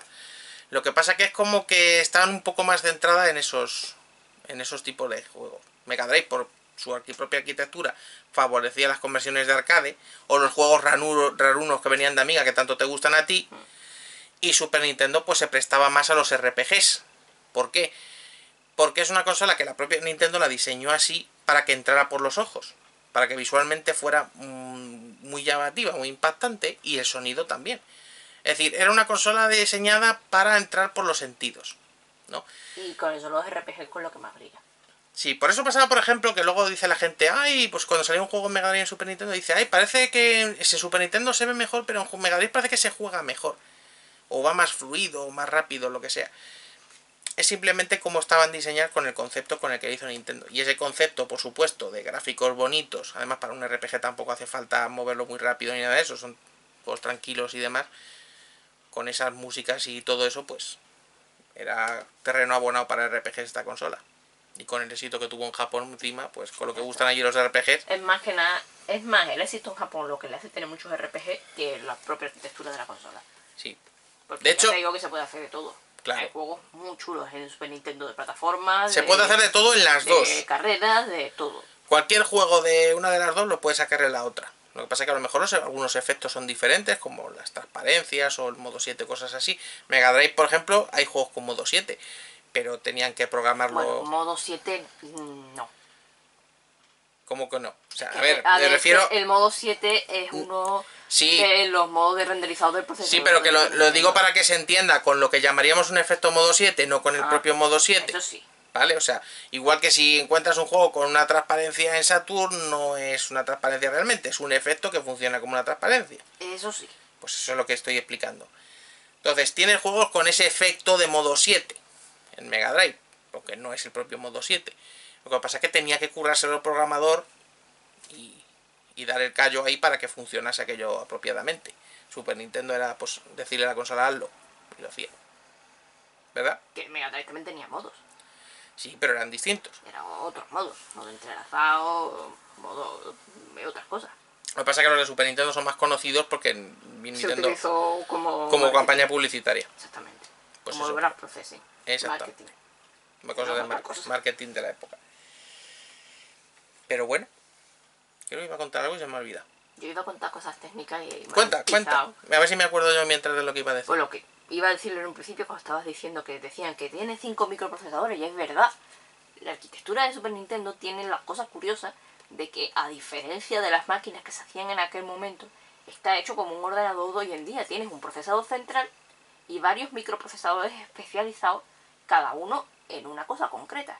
Tiene dos microprocesadores gráficos, el PP1 y el PP2. Tiene el microprocesador de sonido, que me encanta cómo funciona porque es una cosa súper rara. Saturn viene a funcionar más o menos así. Sí, pero por ejemplo Mega Drive, NES, eh, Master System, TurboGrafx no. o PC y tal, no. Las consolas de la época no. Super Nintendo sí. Es que es una cosa rara. Para Sí. la época. Hoy en día es como se hacen las cosas. Pero en aquel momento fue algo revolucionario. Y eso hace que al estar todo modularizado, no necesite, por ejemplo, una CPU súper potente, como tiene Mega Drive, que va toda a, a fuerza bruta, a Sí, hostias. esto, esto es una leyenda que hay por ahí urbana, también hablaremos luego, tú sigue. Pues eso. El tema del Blast Processing y todo eso. Mega Drive hace las cosas a hostias, a capón de esto lo meto yo aquí, esto funciona por mis huevos. Super Nintendo no, Super Nintendo es civilina. Ella es como muy señorita, de vamos a hacerlo esto así, sí, sí, muy organizadito, muy bien hecho todo. Tú fulanito haces esto, tú venganito haces esto, y todo al final funciona como una máquina perfecta de puta madre. Es la mezcla entre un, un cani de barrio dando hostias y, y un, un guardia nacional del Palacio de Buckingham. Bueno, pero supongo que también en aquella época sería más difícil programar así. Porque claro. era algo nuevo. era más difícil, pero bien hecho da unos resultados impresionantes. Claro. Es la cosa. Claro. Cada chico especializado en lo que tiene que hacerlo y saca unos resultados mucho más más filtrados y mejor, obviamente. Por eso cuando mm, simplemente cogemos los datos técnicos de cada una y los ponemos sobre el papel y dices, ay, pues mira, el procesador de esta va tanto, el de esta cuánto, ya esté mejor. No, es que depende de muchas cosas. Igual que en Mega Drive el tema de los colores, de la música, eso siempre lo hemos dicho. No os quedéis con el, el dato en sí, porque depende de otras cosas. Es decir, si Mega Drive funciona un poco mejor en lo que es velocidad de procesado y demás, es por otras cuestiones. No por el famoso Blast Processing, que además no tiene que ver con el procesador. Ya lo explicamos aquí. Y si, Super Nintendo funciona mejor otras cosas, pues es por otras razones. Por ejemplo, el sonido. El tema, no lo de la música. El, el chip de sonido eso es otra cuestión. Pero el sonido. Eh, tú le preguntas a 20 personas en qué consola suenan mejor los efectos de sonido. Los samples de voz, por ejemplo. Y la 20 te van a decir que en Super Nintendo. Pero en Mega Drive se pueden conseguir efectos de voz iguales. Eso lo explicamos aquí. Realmente con un sample más alto, mejores. La cosa es que no se hacía por Eh, otras cuestiones. El problema es que un sample de, de audio, buena calidad en Mega Drive, ocupaba un huevo de espacio. Y no les compensaba porque el espacio en los cartuchos entonces era muy limitado y cuanto más ocupas el juego, más costaba el cartucho y tú lo ibas a tener que vender al mismo precio y te costaba más dinero. Entonces, ¿para qué vas a poner? Porque hacían poner audio comprimido. ¿Qué es lo que pasa? Que es eh, deformado, básicamente. Para que cupiera, para que ocupase menos espacio. ¿Qué es lo que hacía Super Nintendo? Bueno, no es que es sintetizado, no es que esté comprimido. Sí, porque es que lo produce, que es estaba, distinto. estaba a menos calidad de la que podía. Sí. ¿Qué es lo que hacía Super Nintendo? Podían coger samples de más calidad. Y lo que hacía Super Nintendo, el chip, era coger archivos comprimidos y descomprimirlos. Esa, esa simple ventaja, que parece una tontería, como hoy en día, pues cuando haces un WinRAR de algo así que lo comprimes y ocupa menos espacio, pues ella podía coger eso que te había comprimido y hacer. Es que es lo que mola, me encanta cómo funciona el chip de sonido de Super Nintendo porque es una cosa súper rara. Mm. Es una cosa parecida a, los a los mods que utilizaban en Amiga y tal, utilizar los samples, como has contado tú, tal cual. No te lo produce el sintetizador, sino que coge sonidos reales, grabados reales, comprimidos, WAVs, por así decirlo, Mm. y te los mete ahí, están en el cartucho. Pero luego lo que es el procesador de audio no trata con eso directamente, sino que trata con instrucciones, el código máquina, que le manda el procesador central. Es un, Es que un es cacao una, tremendo. una cosa súper rara. Por eso yo... por un lado el SPC 700, que es el, el procesador de audio de, de Super Nintendo, y el SDSP, que es el que realmente hace la música en Super Nintendo, que es un chip de apoyo que trae la consola, no los cartuchos, de el procesador de audio. Que es una cosa súper rara, porque pongamos un ejemplo, cartucho, música. Está ahí toda la información comprimida y el cartucho le manda al, al SPC 700, le dice, oye, esta música, tócamela, pero se lo dice en código. No le manda la información tal cual. Se le dice, tú ahora me vas a tocar el tema 1, por ejemplo, con su información en el ensamblador. Y el SPC le dice al, al DCP, te voy a mandar musiquita, coge estos datos. Y el DCP lo descomprime y hace la música. Por ejemplo, los samples que le manda no son tito ti, por así decirlo, sino el instrumento de guitarra, el instrumento de piano y el instrumento de Es como una especie de xilófono. Con instrumentos pregrabados. Sí. Y el DSP lo que hace es coger el instrumento de guitarra Y es y distorsionarlo, tocarlo distorsionarlo para las que suene como debe. Exactamente. Es una cosa súper rara. Es como imaginar como un xilófono con distintos mm, eh, instrumentos musicales grabados y ese procesador se encarga de utilizarlos para que suenen como debe. Y ordenarlos y... Bueno, normalmente no todas las notas la- las cambia, pero se carga de modificar el sonido grabado tal cual, como cuando, por ejemplo, coges tú la grabadora de sonido de Windows y pones música, pones tu sonido voz de pito. Pues eso, pero bien hecho, obviamente, para ajustar, hacer las diferentes notas y los diferentes tonos y todo eso. Eso es flipante. Probablemente en sonidos ¿Cómo don- funciona eso? es donde Flipante. más diferente sea el Mega Drive de Super Nintendo. Pero ojo, no necesariamente una mejor que la otra. Sino que son sistemas de sonido completamente distintos, funcionan distintos, y luego ya depende de la pericia del compositor y de cómo aproveches las capacidades de sonido de cada una. Entonces, pues habrá juegos de Mega Drive que suenen como un concierto de pedos, y hay juegos de Super Nintendo que suena como un concierto de flautas. Entonces, no. Si cuando oigáis una música en una de las dos consolas que no os guste, no juguéis el hardware de sonido de la consola o el catálogo entero de la consola por eso. Vais a encontrar otros juegos que van a sonar divinamente en la máquina. Depende del compositor. Son dos instrumentos distintos, es como una guitarra y un piano. Ahí está. No va a sonar uno mejor que el otro, suenan diferente. Pero Tú lo Y- has dicho mejor que nadie. y tienen su encanto. Cada una tiene su encanto personal. Además, a cada una pues se le dan mejor un tipo de composiciones que otras, ¿no? Mega Drive, por ejemplo, es mm, como es un sintetizador, va bien para música electrónica y cosas así. Y Super Nintendo, por ejemplo, con esas, esos instrumentos reales va muy bien para temas orquestales. Un tema orquestal en Super Nintendo te va a sonar de la leche, si está bien hecho, claro. Incluso voces. Hay juegos de Super Nintendo Cantando. que utilizan letras y, y voces hablando. Por ejemplo, en el Jurassic Park 2 En el Jurassic Park 2 hablan, el- tiene le- diálogo. tiene una intro animada, no es vídeo, pero es, está animada, con sprites animados, además es tremenda, ese juego es espectacular. Y habla a los personajes.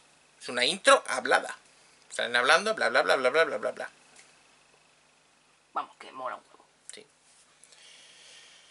Pues eso, desde luego, yo os lo digo muchas veces, no os quedéis en las peleas estas de hardwares de foro y cosas de esta, de si esta tiene tantos colores o lo que sea o tal, porque es que luego realmente dependía de otras cosas distintas.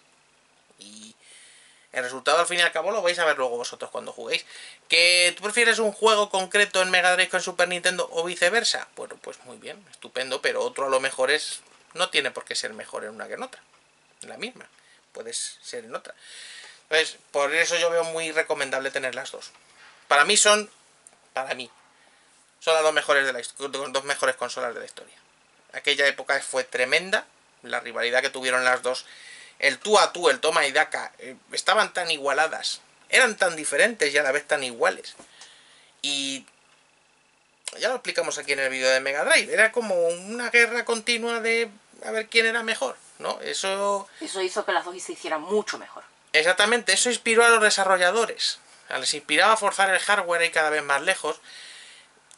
Que llegaban y decían, ay, pues yo quiero hacer un juego de Mega Drive y quiero que tenga tantos colores como Super Nintendo, pero no puedo porque el hardware no me deja. Pues cogía por sus huevos y se curraba algo programando, por ejemplo, el Ranger X de Mega Drive rompe los límites de, colores de Mega Drive. Tú lo ves y parece un juego de Super Nintendo. Es espectacular. Y es porque los programadores dijeron, pues aquí por mis huevos me voy a currar algún sistema para poner más colores en pantalla y lo consiguieron. Es que se empujaban los unos a los otros y esa rivalidad entre las dos consolas que yo creo que nunca se ha vuelto a repetir. Porque siempre ha habido una muy por delante de la otra, siempre ha habido un desfase importante. Pero yo creo que eso es lo que nos dio la mejor generación que ha habido. Sí. Entonces, bueno, incluso luego tenías otras, que no eran solo Mega Drive y Super Nintendo, tenías el PC Engine o Neo Geo, pero o Mega CD y 32X. Pero vamos, ya solo con Mega Drive o Super Nintendo, que me diga que le gusta una y no le gusta otra, es que lo que te guste de una lo vas a encontrar a la otra. A poco que busques, no te quedes solo con lo, lo conocido. Pero bueno, todo esto ya lo contamos en el vídeo de Mega Drive y Super Nintendo, ¿no? No es cuestión de guerra, hoy le toca a la blanquita. Más Aunque- cuestiones, no, al contrario, de guerra no, de paz. Tonterías ya de batallas de fanboys. Bueno, más datos técnicos que quieras contar sobre ella. Por ejemplo, una cosa que me resulta muy curiosa es que los dos chips gráficos que tiene son como mellizos. Como los de Saturn. ¿No? ¿No? exactamente. El Saturn tú puedes usar uno y no usar el otro. Pero aquí no. Aquí Tienes no. que obligatoriamente usar los dos, si no, no funciona. Ah, Es una cosa muy curiosa. Aunque sea darle poquita cosa, pero tienen que estar los dos en funcionamiento. vaya. Es un- una curiosidad. ¿Y qué más cosas? Lo que has dicho antes de los chips de apoyo, eso ayudó mucho a la consola, porque como dice, lo que es el hardware de la consola, mm, no hacía tantas cosas, pero luego con los propios chips de apoyo, los DCP, podías hacer barbaridades. Y ampliar, lo bueno porque podías ampliar la tecnología de la consola constantemente. Sí, por aquí tengo. Que sé yo que has. Se conmigo por no enseñar Starwing, pero bueno, vamos a siempre echamos en el mismo ej- ejemplo del FX. ¿Eh? Ahí está el Super Stun Race, que nunca hablamos de él, el pobrecico, que también usaba el FX. ¿Eh? Que esto básicamente son procesadores. Son procesadores. Son procesadores que lleva el cartucho, procesadores extras, igual que el SVP de Mega Drive del Virtua Racing. De hecho, eh, concretamente el chip FX y el SVP son procesadores matemáticos. Claro. Lo que hacen hacen hacer es. cálculos geométricos matemáticos. lo que hacen es ayudar a la CPU. Porque mover polígonos requiere muchos cálculos. O sea, a no ser que tengas un hardware especialmente diseñado para mover polígonos, algo que yo creo que no llegamos a tener hasta Nintendo 64 en consolas, los polígonos se movían a base de fuerza bruta. Es decir, de calcular su posición a lo bestia en tres dimensiones. Y eso requiere un, esfuerzo de, cálculo que te cagas. Como en Mega Drive, por ejemplo, tenían más experiencia porque venían de la Amiga y cosas así, hay muchos juegos poligonales que no utilizan nada de apoyo. El único juego que lo utiliza es el Virtua Racing. Pero Super Nintendo pues aprovechaban que tenían esta posibilidad de meter chips de apoyo, porque Nintendo la diseñó así, y tiraban de eso cuando querían meter efectos brutos, como los polígonos de aquí, incluso el Mario Kart, el Super Mario Kart utiliza también chips de estos. Que luego eso es lo que hace que sea más difícil de emular también. También. Y cuando compras un Everdrive, tengas que desembolsar unos 100 euros más por él. Porque si quieres que emule todo, tiene que lle- llevar todos los chips posibles que llevaban los cartuchos en aquel entonces. ¿Eh? No es simplemente coger la ROM y pam. Esto es curioso, si fijáis en los juegos de Super Nintendo, en el conector, ¿lo veis? Este, por ejemplo, vamos a coger uno que no lo tenga. Si yo cojo este, ¿Veis ahí el conector? Es pequeñito. Pero si lo comparamos con este, a ver, ahí que se vea bien. El de arriba, ¿veis? Que es más grande, tiene como dos extras aquí. Dos conectores extras ahí. No sé si se verá bien. Pero bueno, ahí está. Yo creo que eso es para los, Claro. los chips de apoyo, precisamente. Porque suelen ser estos juegos los que traen aquí estas, estos extras. Que por cierto, los propios adaptadores llevan esos huecos preparados. Me acuerdo una vez, por cierto, ahora que estoy hablando del, de lo que es el tamaño del conector y eso. Me acuerdo una vez que mi vecino, en la época, o sea, todo esto en la época. em, me fijé yo en, estos cartuchos que tienen la entrada más sencilla, que era casi igual de grande, o prácticamente igual de grande que la de los cartuchos de Master System. Y no se me ocurrió otra cosa más que abrir el adaptador de Master System que tenía para Mega Drive, que yo sabía ya que no iba a funcionar, no iba a ir en plan inocente, pero digo, voy a ver qué pasa. Abrí el adaptador para que pudiera entrar y le pedí un cartucho de Super Nintendo. Y se lo metimos al adaptador de Master System a Mega Drive. Y lo encendimos a ver qué pasaba. No se jodió nada. Gracias a Dios porque se podría haber jodido algo. O- hoy en día ya sé que sí se podría haber jodido algo y en su época de haberlo sabido no lo habría hecho. Pero me acuerdo que me llamó la atención porque salieron unas rayas extrañas en la pantalla. Se llenó la pantalla de una especie de rayas así verticales. Y... Se volvería la- loca la consola. no sé. yo solo sé que aquello conectaba y yo llegué a conectar un cartucho de Super Nintendo en la en una Mega Drive con el adaptador de Master System y entraba, ent- cabía bien. Oye, mira, conseguí unas rayas psicodélicas ahí espectaculares. Pero bueno, ya veis que yo hacía experimentos raros en aquel entonces. No te lo cargaste de milagro. Guille. No, no, mi Mega Drive y mi adaptador siguen funcionando y el, el cartucho le sigue funcionando. No, no murió nada, por suerte. Podría haber pasado. Pero bueno. Cartuchos de Super normalmente pues eran grises. Pero había algunos de colores especiales, como aquel de los caballitos, que vimos donde Juan hace Coño, lo poco. de los caballitos un montón. Cuéntalo mientras saco yo este. La última vez que fuimos a, a Casa Juan, nosotros A decimos, Juan, a Casa Juan, a Tecvía. tenía allí una caja con un montón de cartuchos japoneses de Super Nintendo. De hecho fue cuando le compramos Ahí el está, Super compramos Puyo el Puyo. Y tenía allí unos negros de carreras de No, no eran negros, eran gris oscuro. Bueno, El mismo color de la Nintendo 64, básica. Pues ese color era. con herradura y tal Ne- de carreras de Negro es esto, el del Killer Instinct. ¿eh? Estos eran gris oscuro. Total, que me llamó la atención porque a mí los juegos así raros me llaman la atención y los puse en la Super Nintendo que tienen allí, las japonesas. vamos. Y salía una pantalla de error en japonés. Que no sabíamos por qué. Estuvo Sí. trasteándolo Juan, de que raro, pero si la consola está puesta japonesa. Además eran dos, eran primera y segunda parte. Sí, de esto tenía que pillarlo, que raro que te dé error, es como si estuviera en una región que no es, pero sí, Sí. una cosa súper extraña. Le dije, yo se te está dando algún mensaje de error de que te falta algún accesorio o algo en la consola. Total, que investigamos y resulta que son juegos de apuestas, de carreras de caballo, que tenías que conectarlo a un modem y apostar real en carreras de caballos reales. Y claro, no funciona porque no tenías el modem. Y aunque tenga ese sistema ya no existe. O sea, que ya no puedes apostar en carreras reales con la Super Nintendo, pero en su día se podía. Ni- eh, atención, los japoneses apostaban en los caballos con dinero de verdad con su Super Famicom.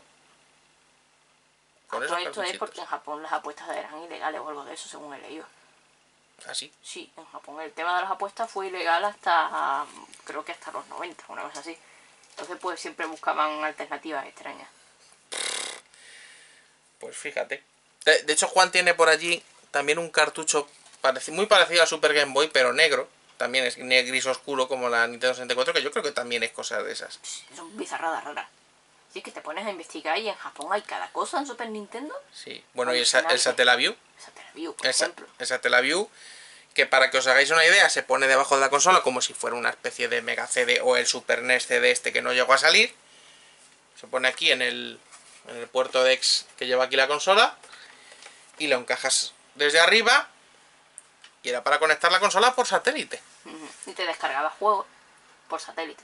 Tenías que conectar la consola a la hora concreta en la que retransmitían el juego y se te bajaba. Era como el, el Seganet que tenía Sega en Japón, el Game Tosokan este, que te bajabas, pero en Mega Drive sí funcionaba con internet y en Super Nintendo funcionaba, funcionaba por satélite. Y eran juegos descargables, ¿eh? Que lo, para que quien quiera que los juegos descargables son cosas de ahora, no, no. En Japón ya sabían lo que era todo eso a principios de los 90. Y luego está lo del Nintendo Power. Nintendo Japón. Power. Nintendo Power eran. eh, seguro que habéis oído alguna vez hablar de cómo funcionan los disquetes del Famicom Disk. ¿no? Tú comprabas el disquete virgen, te ibas a un kiosco, lo metías, pagabas el juego y en el disquete se te grababa el juego. ¿Vale? Y luego tú llegabas a tu Famicom Disk, lo metías y jugabas. Bueno, pues era algo parecido a eso, pero con cartuchos. Tú comprabas un cartucho que funcionaba algo así como una especie de flashcard, como si fuera un flashcard o algo así. virgen. Exactamente, tú lo llevabas a una especie de kioscos. Esto estuvo en activo un huevo de años, hasta ya entra el 2000, allí en Japón. Tú llevabas el cartucho al kiosco este, lo metías, comprabas juegos específicamente diseñados para este sistema. Y también había juegos normales. También estaba el Columns. El Columns de Sega, además licenciado por Sega. Porque ya estamos hablando de la época en la que Sega ya estaba dejando estas cosas. Y hay un Columns licenciado oficial de Sega en Super Nintendo y salió en este formato. Y tú llevas tu cartucho, además mola un montón ese Columns. Estamos detrás a ver si nos hace Juan uno, ¿eh? que tenemos ganitas de jugar al Columns en la Super. A mí es que me encanta mezclar estas cosas imposibles, jugar a un juego de Sega a la Super Nintendo y viceversa y cosas así, eso me encanta. La gente me dice que soy un sacrílego, un monstruo, pero a mí, me- a mí encanta.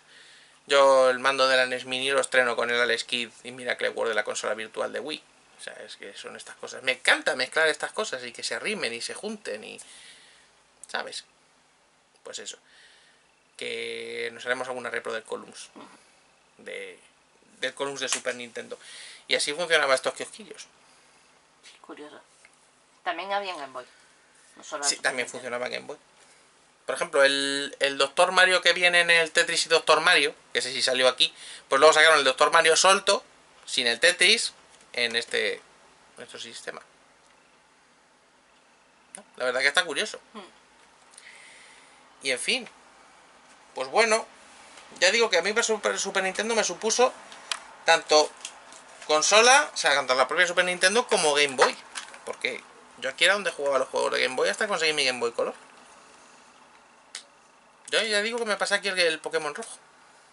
Eso tú no te hubiera gustado, ¿no? A lo mejor, bueno, tú eres más de portátil siempre. Yo prefiero portátil, la verdad. La verdad que jugarse el... Estoy hablando de cuando salió, ¿eh? Cuando salió el Pokémon rojo, yo me lo pasé Super Nintendo. Y bueno, mira, aquí tengo el mando. Ahí está el mando. Que, bueno, yo tengo el recuerdo, tengo el recuerdo de haber llegado a ver mandos metálicos de Super Nintendo. Pero yo se lo digo a la gente y se creen que estoy chalado. Y incluso se lo dije a Juan y dice que no se acuerda de haberlo visto.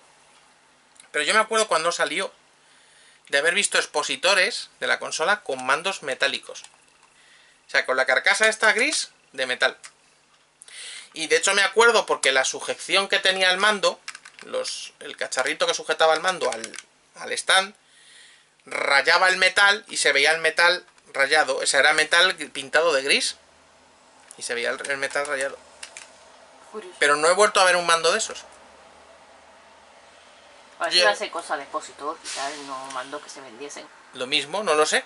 O yo me he vuelto loco, me lo he soñado, no sé, pero yo estoy seguro de que lo vi en la época. Mira, si alguien lo, lo sabe el dato, pues mira que lo ponga en los comentarios. Ya sé yo que no estoy loco. Bueno, loco a lo mejor sí, pero que no me he soñado que había mandos metálicos de Super Nintendo. A saber si nos daban calambre. Yo me acuerdo que pensaba yo eso en la época, digo, mando metálico, a ver si te va a pegar calambrazo mientras estás jugando. No sé. Pues aquí está. Mando europeo, que es igual que el japonés, lo que pone Super Nintendo, que también me gusta más que el americano porque... Hombre, los, en el americano los dos botones estos de aquí arriba están curvados hacia abajo. No sé por qué. O sea, en vez de hacer así, hacen así. Supongo que es para distinguirlos mejor al tacto. Los dos de arriba de los dos de abajo. Pero a mí me gusta más así. Me gusta más que sean los cuatro iguales y además con los colores de la consola. Los colores del logo de la consola.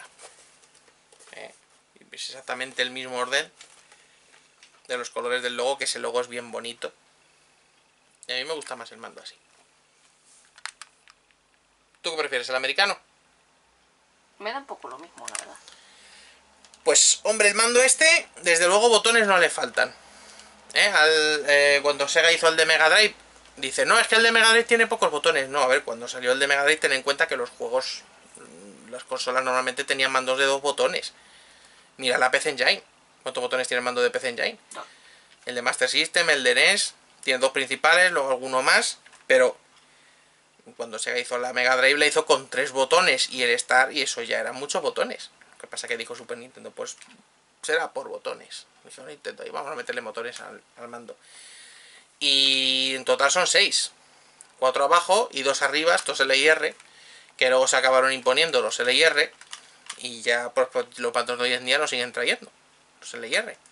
Gracias a Dios porque es un gran invento. Sí, y de, bueno, de hecho la configuración de cuatro botones ahí la siguen usando todas las consolas de hoy en día. ¿Eh? Yo soy más de la configuración de 6 en, hi- en dos hileras. La que utilizaba el mando de 6 botones de Mega Drive y el de Saturn.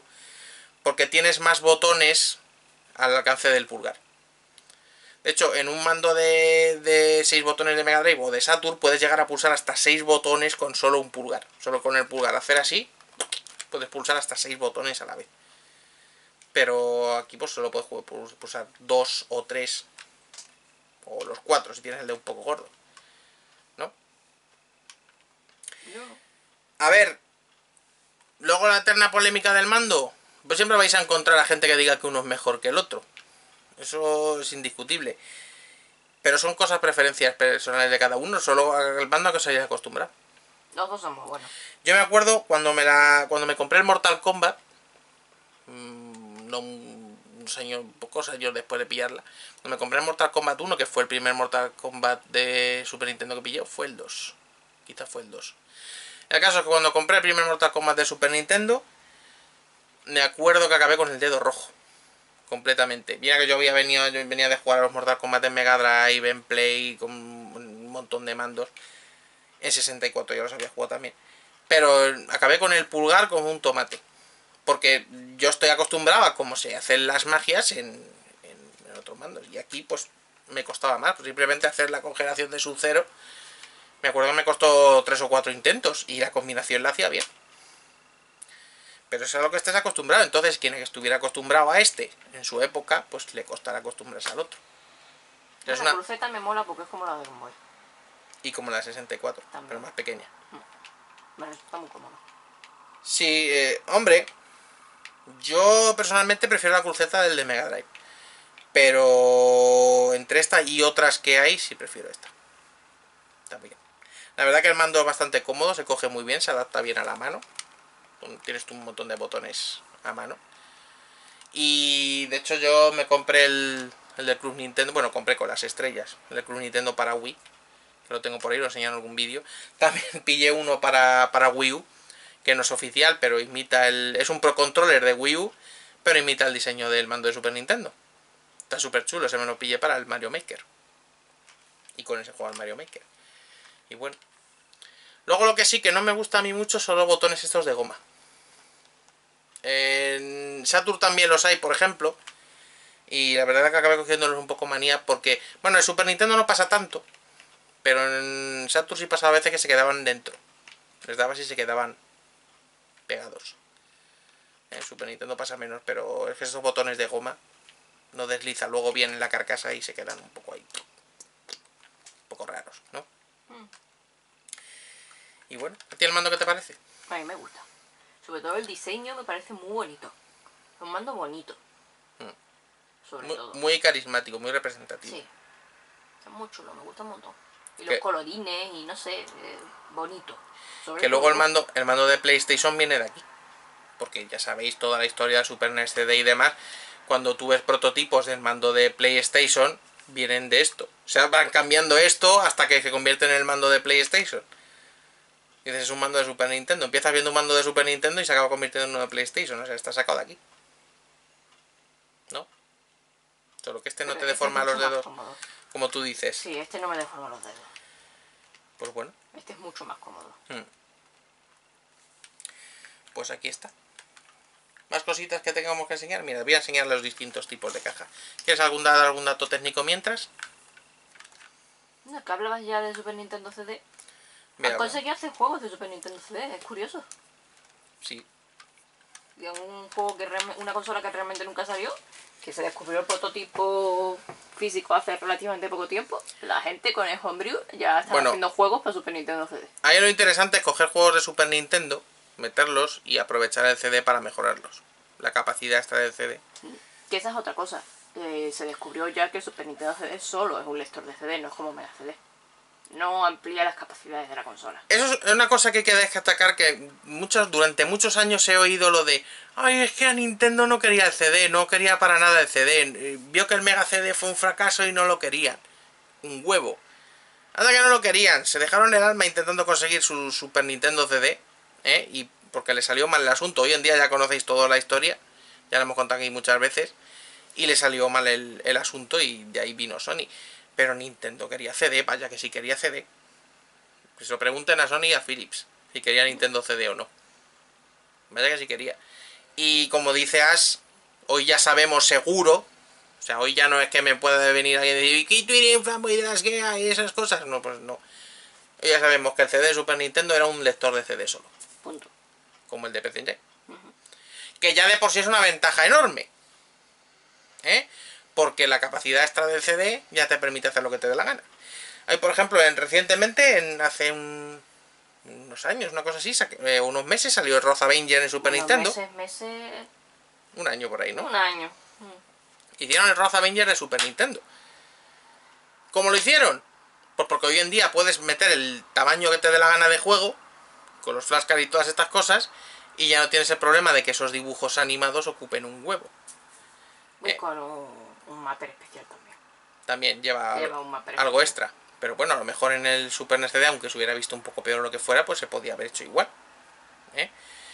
Que mm, en Mega CD mucha gente se cree que también era eso, que era simplemente un lector de discos para Mega Drive, que coger los juegos en disco. No, no, añadía hardware extra, añadía efectos gráficos extra, añadía el famoso modo 7 de Super Nintendo. Se le metía otras cosas. Era más cosas, no era simplemente CD. Pero bueno. Pues mira, yo, yo, yo lo digo muchas veces, si hubiera salido el, el Super NES CD, ojalá hubiera salido. Mira los juegos que podrían haber llegado ahí. Muchos de los juegos que salieron para Mega CD eh, estaban planeados para el Super NES CD. Y cuando se canceló, se los llevaron a Mega CD. Entre ellos creo que el Night Trap. No, el Night Trap no. El Night Trap era de otro sistema que era en vídeo VHS. Y luego se plantearon llevarlo a este y a Mega CD. Hay muchos juegos de Mega CD, de estos en vídeo, que nacieron así, en, en este formato que se jugaba en vídeo VHS y luego pensaron llevarlos a Super NES CD y a Mega CD y al final acabaron solo en La Mega consola CD. está de Hasbro, que no me acuerdo cómo se llama. Sí. O sea que hoy en día cuando viene alguien y le dice, "Vieji, los vídeos, los full motion vídeos, eso del Mega CD, jaja, qué tontería. Pues si hubiera salido Super NES CD habríais tenido juegos de esos a patadas en, en el Super NES CD. Y yo lo he dicho muchas veces, a mí los juegos en full motion video no me disgustan. Tienen una mala imagen y un todo lo que tú quieras, no entiendo por qué. Porque, por ejemplo, Dragon Slayer me parece una maravilla. Pero y si está bien hecho, no te estoy diciendo algo, yo qué sé, tipo Night Trap, una cosa así, pero si está bien hecho, no tiene nada de mal. De hace, hicieron un juego full motion video hace poco. Y se ve de la hostia. Es de Play 4, creo. No me acuerdo cómo se llamaba, era así como de detectives. No recuerdo el nombre, pero me suena que o lo habían hecho o iba a salir. No me suena. Hace eso. poco sí, un descargable. Yo lo que he visto es que los full motion video han vuelto gracias a Netflix, eso sí. No, no, no, pero yo te digo juego, juego. Play 4. Y yo creo que es un tipo de juego que podría tener incluso su salida, ¿no? Que me hace mucha gracia porque la gente se queja de que los juegos sean en vídeos y solo puse los botones de vez en cuando y luego se pasan el día viendo gameplays en YouTube. Ahí sí que no hay interacción ninguna. La gente luego se pasa los juegos en YouTube. Y se pasa el día riéndose de los juegos en full motion video. Anda, que tela. Pero bueno. Pues mira. Cosas que podría haber tenido Super Nintendo. Vamos a enseñar las cajitas. Ya que los tengo por aquí. Vamos a enseñar primero las cajitas japonesas. Eh, Aquí están los de Famicom. Como veis, están hechos así a lo largo de cartón. Lo que pasa es que este lo tengo protegido. Bien protegido, SimCity 2000. A mí me encanta este juego. Podemos conseguir la versión de Super Nintendo. Y ya ves que estos se hacen a lo largo. No son exactamente igual de grandes. Si tú lo pones así, no es exactamente igual de grande que una caja occidental. Pero bueno, son curiosas. Desde luego tienen un, un diseño bonito. Pero yo a mí, la verdad, hay quien me pega por esto que digo, pero prefiero las cajas occidentales, fíjate. De Super Nintendo. Porque las, ja- las cajas japonesas están muy bien, son muy bonitas, tienen todo el arte de la consola al- alrededor, muy chula. Pero tú esta la ves desde lejos, en una estantería y parece una caja de cinta VHS, ¿verdad? Pues sí. Es como una caja de cinta VHS. Tú lo ves en una estantería de la tienda y desde lejos, y no sabes si son juegos de Super Nintendo, son cintas VHS. Encima, no tienen apenas logos y cosas distintivas de la consola aquí en la esquina, pero en el canto no hay nada. ¿Eh? En cambio, tú coges una caja de aquí o una mm, americana y a mí ahí me influye mucho el factor época. Yo me acuerdo de la época cuando iba ya a mi tienda de barrio y veía todos los juegos de Super Nintendo. No todos, pero la mayoría con su caja negra y roja. Yo veo un juego de con su caja negra y roja a 20 metros y digo, hay un juego de Super Nintendo. No me confundo si es una caja de VHS. Entonces, hay quien me pega por eso, pero en Super Nintendo yo prefiero las cajas occidentales. ¿Me vas a pegar? No. ¿Tú prefieres las japonesas? No. No ¿Te da tengo preferencia, la verdad. Aquí Yo tengo, aquí tengo una americana. Como veis son muy parecidas a las de aquí. Solo que el logo es diferente. El famoso logo este que he enseñado aquí de los colorines, pues aquí es gris. Para coincidir más con la consola. ¿Ves que esta cajota negra con estas cosas rojas, el logo rojo de Super Nintendo aquí? Esto es un juego de Super Nintendo. Incluso aunque no sea negra, que sea azul como la del Magical Quest o cualquier cosa. Pero yo veo esto y yo veo un juego de Super Nintendo aquí. ¿Eh? Y lo reconozco así, puñeta. Igual que en Mega Drive los cuadraditos negros y el azul y las cajas azules estas o las rojas de Genesis veo un juego de Mega Drive. Pues yo aquí veo un juego de Super Nintendo. Que bueno, eso luego ya. A ver, que no le gusten así, ¿no? Me imagino. Yo sé que la gente suele preferir las, ja- las cajas japonesas. Y en la mayor- En la mayoría de los casos, en la mayoría de sistemas, lo, lo- a ver, los hardware suelen ser- estar más currados, ser más bonitos. Pero a mí estos bordes, estos templetes negros, occidentales, me gustan. Como queda. Que se entiende lo que digo, ¿no? Te. Bueno, pues vamos a enseñar cómo son las cajas europeas. Por supuesto, depende del juego, no todos los tienen la misma caja, pero bueno, para que os hagáis una idea de cómo son. Aquí tenemos una caja europea. El cartón, el valioso cartón y el valioso papel en Super Nintendo. Ahí está. Super Mario Kart, ¿eh? el europeo. Como veis, sigue teniendo estas rayitas grises de los americanos. Ahí está. El mismo diseño negro con logo rojo y demás. Pero aquí ya tenemos los colorines. Estos. ¿eh? Del logo europeo. Y no sé, yo qué quieres que te diga. O sea, es que esto. Esto es un juego de Super Nintendo. Yo veo esto y. Es un juego de Super. Que luego dentro viene con el cartoncito blanco, el famoso inlay este. Y el manual. Ahí está. Cartoncito blanco, el cartucho. Estas solapas son un poco puñeteras porque tienden a pirarse. Estos cacharros además te los venden hoy en día. Te los fabrican por ahí y te los, te los venden por mira si lo has perdido o cualquier cosa. Que bueno, digamos que es una ventaja, ¿no? A la vez el cartón es un inconveniente y a la vez es una ventaja. Te lo pueden fabricar. Para hacer repros y todo eso, pues mira, las que tienes tú ahí tienen caja. Aunque bueno, en Mega Drive pues te imprimes la carátula y buscas la caja de otro juego y ya está. Pero no tienes que mutilar nada. Eso sí. El cartucho solo. Eso sí. Y tampoco porque venden por ahí carcasas chinorri que te valen. Sí. Pero Juan suele comprarlos al peso. Los japoneses, los que no valen mucho. No, pero digo de Mega Drive. Ah, de Mega Drive también. Pues mira, este es español además. Es que esa es otra cosa en Super Nintendo. En Mega Drive está el, euro- el europeo y ya está. Pocos juegos hay que sean PAL España. Muy pocos. Por ejemplo, el Rey León y la, la carátula. PAL España que solo venga la caja en español, en Mega Drive hay muy pocos. La mayoría son europeos, vienen en varios idiomas y eso es una ventaja a la hora de conseguir el juego. Porque tú compras el alemán y es exactamente igual que el de aquí. El manual viene en español, se viene en varios idiomas, todo exactamente igual. Pero en Super Nintendo no. Y esto encima añade todavía más valor a los juegos. Esto es un Mario Kart de Super Nintendo español. Como veis aquí, el texto en español. Y ya simplemente por eso aumenta el valor. Ya no es que tenga caja y manual, sino que encima sea español. Y por eso los juegos de Super Nintendo cuestan lo que cuestan. Es un poco fastidio, por no decir putada. Pero realmente es lo que hace que los juegos de Super Nintendo hoy en día valgan tanto. Sé que se van suma- sumando factores que en otras consolas no tienes ese problema. ¿No? Bueno, ¿algún detallito más técnico que quieras contar mientras? No hemos hablado de los juegos de Rare. ¿Cómo no hemos hablado de los Pues juegos empieza a hablar de Rare, pero mm, a ver que te pueden dar tres horas hablando de Rare. Puta hostia. ¿Qué hizo Rare en Super Nintendo? Básicamente, eh, Rare fue la respuesta de Nintendo a Sonic. Donkey Kong Country, mejor dicho. A ver, cuenta. Pues viendo que Sonic les estaba comiendo el mercado y Super Mario World, Sonic. Sonic. C. Sonic, no Sonic. No, Sonic mm, PlayStation no, Sonic el erizo. Porque yo soy andaluza y me como las finales de palabras, ¿vale?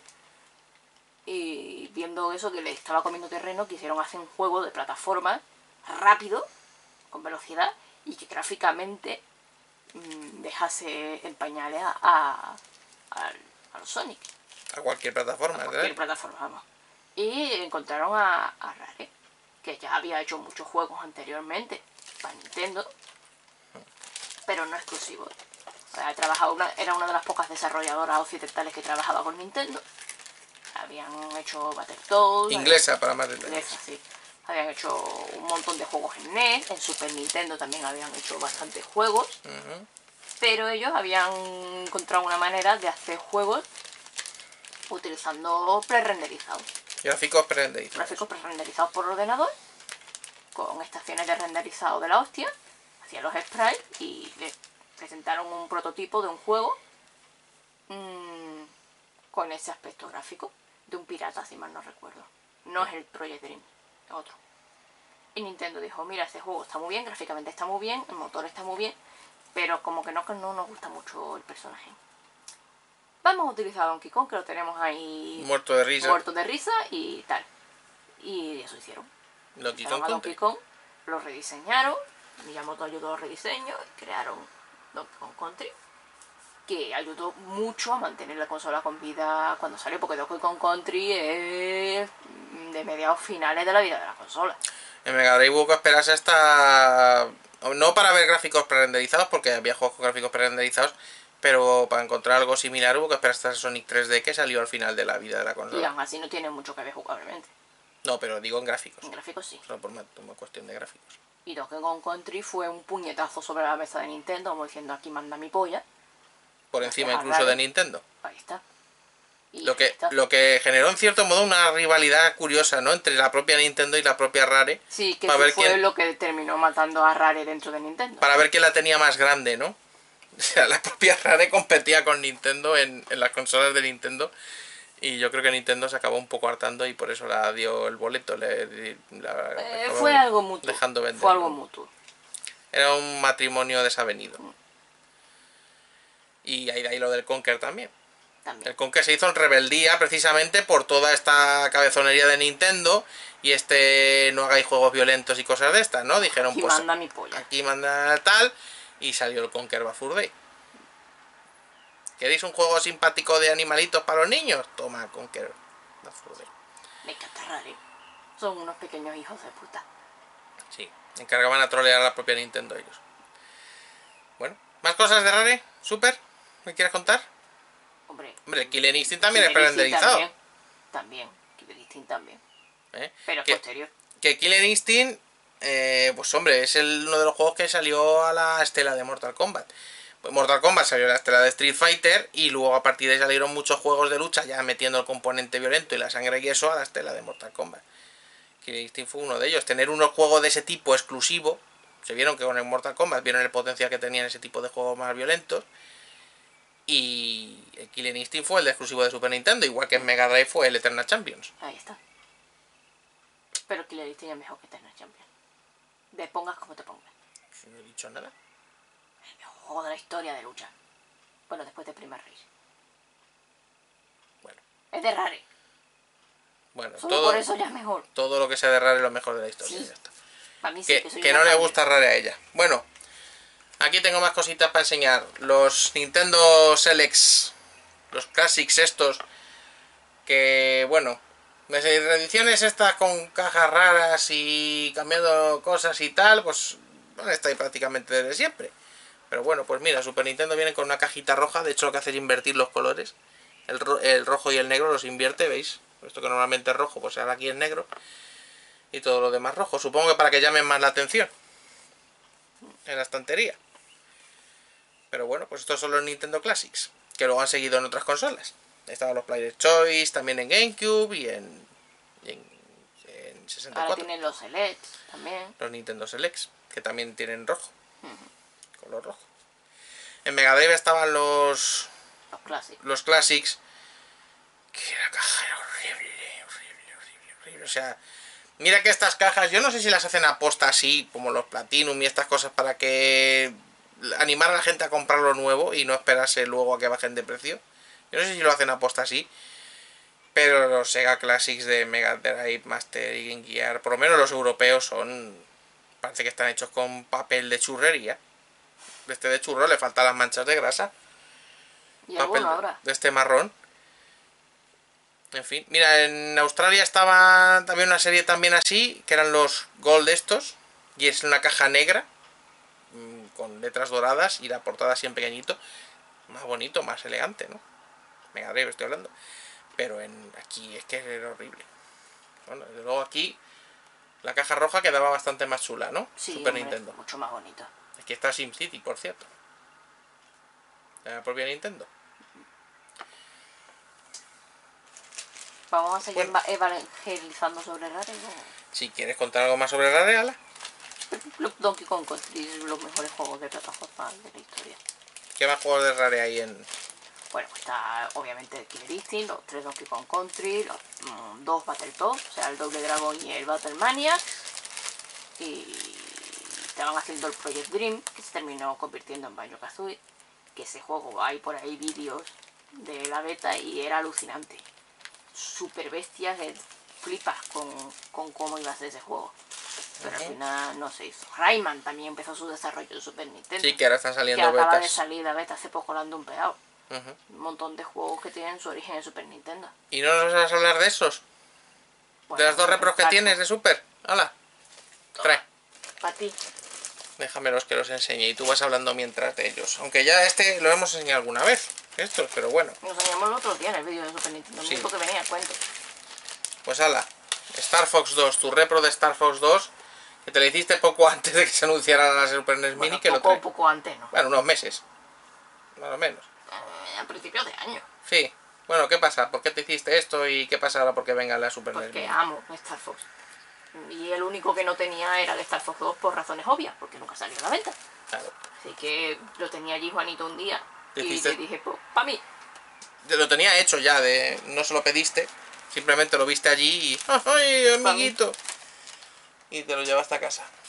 Te decía, llévame a casa y te lo llevaste. Que esto no es el juego terminado. No. ¿eh? Eso hasta que no salga Super NES Mini y la gente ripe el, la ROM que viene en la consola, Nunca no. vamos a tenerlo terminado hasta que no pase eso. que entonces a lo mejor actualizar la repro esta. No lo sé, me da penita. Bueno, o te haces otro cartucho y lo metes en esta caja y dejas este con la beta. No ya veré lo que hago. Como tú quieras. Ahí está el Star Fox 2 de tu infancia. Y el Star Fox 1, que no hemos hablado de él y es otro de, los, de las Habla- cosas chulas de que hizo Nintendo. En colaboración Argonaut. con Argonaut. Exactamente, Argonaut era una compañía también británica que había trabajado anteriormente en Game Boy haciendo un juego poligonal en Game Boy. Bueno, realmente no es poligonal, es vectorial, pero de aspecto así tridimensional, que es el X. Lo tengo- llama X. Lo tengo ahí. Podría haber sacado, pero bueno Bueno, ¿qué pasa?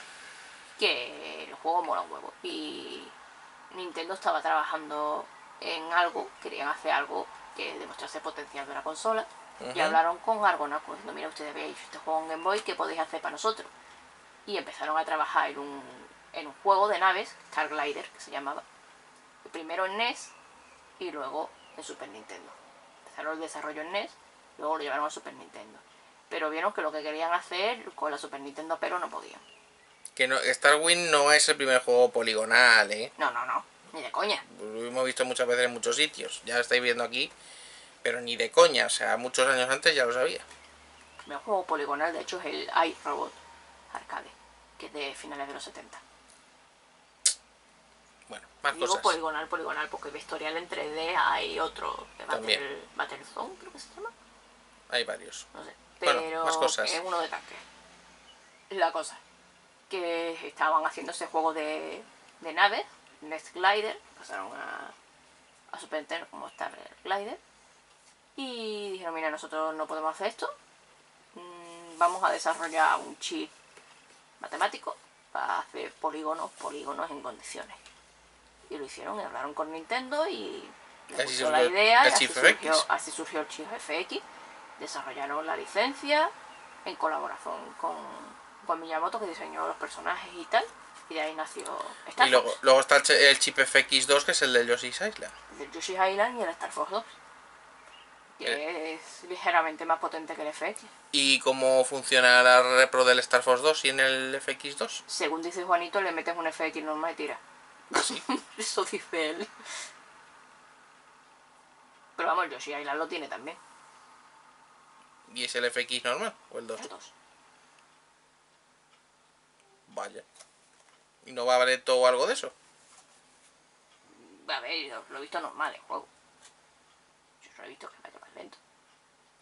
No sé. Bueno. Otro de lo que tiene repro aquí. Ese no tiene nada especial.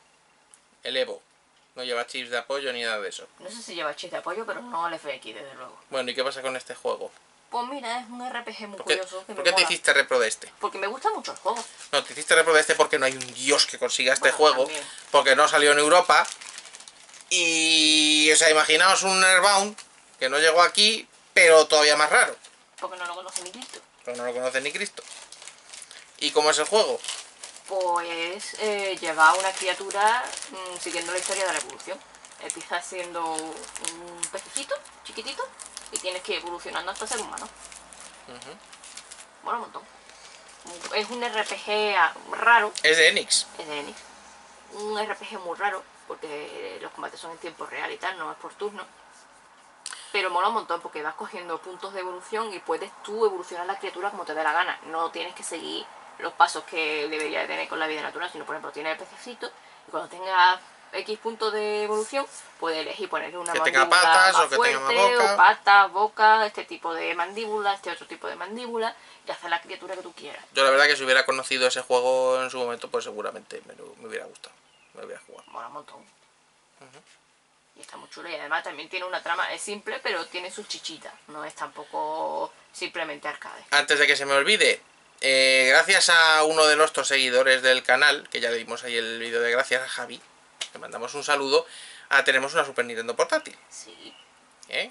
que nos, nos dio él, que es como una especie de DS, Me la podéis haber no traído, oficial, sí, le podías haber enseñado, pero ya no enseñamos en los vídeos, pero por todavía no levantarme y a buscar pero, pero funciona como Super Nintendo. Desharemos un vídeo específico, hablando de ella. No lo metemos hoy aquí, pero haremos vídeo específico. Mira, veis, ya va amaneciendo por aquí detrás, ya se ve la luz del sol. Y bueno, más cositas que quedan ya por enseñar por aquí, pues ya no queda mucho. Tengo esto por aquí, que nos costó un euro. ¿Te acuerdas? En aquel Retro Madrid lo están vendiendo por un euro. Nuevos a estrenar, los multitap de Super Nintendo. Dijimos, bueno, algún día tenemos algún juego que soporte multi, ¿no? O el Bomberman alguno de estos. Y es nuevo, está nuevo a estrenar. Eh, Oye, por un euro. Para una buena causa. Pues ya como veis, Super Nintendo sí que tiene adaptador para cuatro jugadores, tiene. Y además, aunque es de Hudson, es oficial, tiene licencia oficial de Nintendo. Sacaron para el Bomberman. ¿Eh? Multitap. Que en Super Nintendo no estaba el J-Card de Codemasters. Los juegos de Codemasters no tenían aquel J-Card que tenían los de Mega Drive de meterle dos, dos mandos a la consola. De hecho, no hay muchos juegos que utilicen el multitap este en Super Nintendo que permitan más de dos jugadores. Es que de hecho los cartuchos de Super Nintendo los fabricaba Nintendo. No pasa como con Sega. Sí, ahí no había cartuchos licenciados. Nintendo en NES se le saltaron el tema de las licencias y dijo Super Nintendo no. Ahí tienen que ser fabricados por la propia Nintendo. Y Sega, bueno, pues a Sega sí se le escaparon con aquel juicio que tuvieron con Acolade. Pero bueno, ¿algo más que nos quede? Yoshi Island es la hostia. Me Aparte de eso, más datos técnicos que quieras dar tú. Mm, Al menos no se me ocurre ninguno. Bueno, Seguramente juegos, cuando corte la cámara se me ocurrirá. Pero ahora mismo no es que me están dando sueño, tío. bueno, pues juegos ya digo, tenéis ahí el vídeo de colección, aunque es bastante antiguo, eh, lo subimos hace mucho, fue de los primeros que subimos. Está grabado con el móvil, parece que hay un terremoto continuo porque lo manejas y tiene el pulso de tocar panderetas. Y bueno, pues tenemos- me gusta mi pulso. ¿Eh? tenemos que hacer uno actualizado, ¿no? Sí. A mí, pero el que esté viendo el vídeo, pues mm, va a acabar un poco mareado. Pues haremos uno actualizado y ya enseñamos todos los juegos. Y los más recientes. Algún día. Pero no vamos a enseñarlos todos. No, porque son unas hartas y es tarde y... Eso. Y ya está la gente diciendo, cortad ya, que sois unos pesados y os liáis mucho. Os va a volver a hacer de noche aquí. Pues ya está. Pues ya está. Super Nintendo. Hoy en día, si no la tenéis es porque no queréis. Hombre, ¿Eh? carita. no menos que en la época. Sigue siendo más barata que cuando salió. ¿Eh? Y merece 300% la pena tenerla. Entonces, bueno, y si no tienes ahí la Super NES Mini.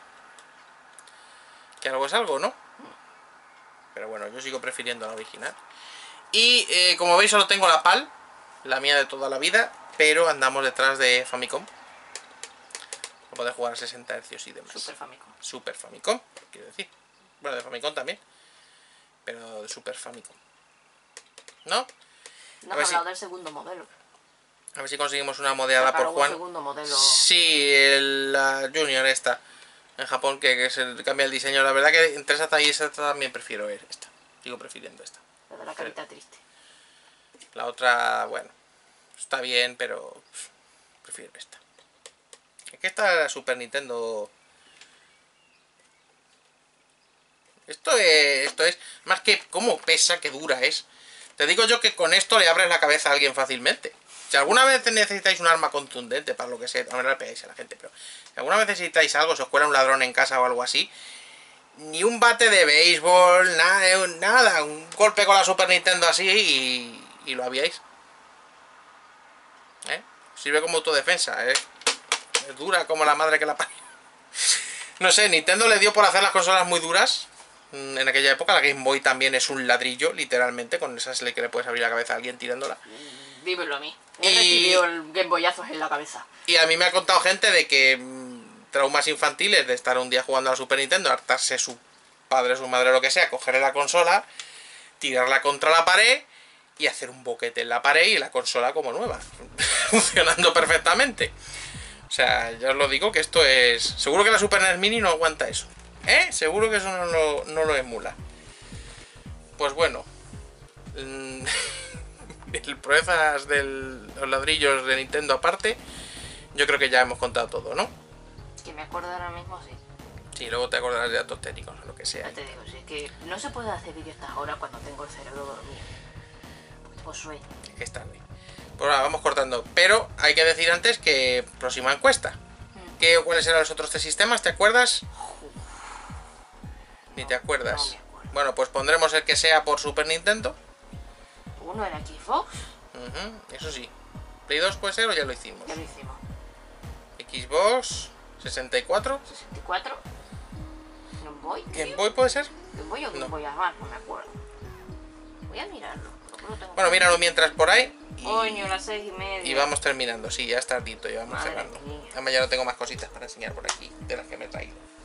Puedo enseñar más juegos que los tengo ahí, pero... Pero bueno. No sé, ya la verdad de Nintendo 64, Xbox, Game Boy Advance son las que quedan. Game Boy Advance, Nintendo 64, Xbox. Sí. ¿Y cuál pondremos? Porque no vamos a poner tantas de Nintendo. Es que Bueno. lo que hay, las de Sega las hemos sacado todas. Menos la SG-1000. Sí, pero las SG. La SG-1000 en un futuro. Y bueno, pues ya veremos cuál metemos, ¿no?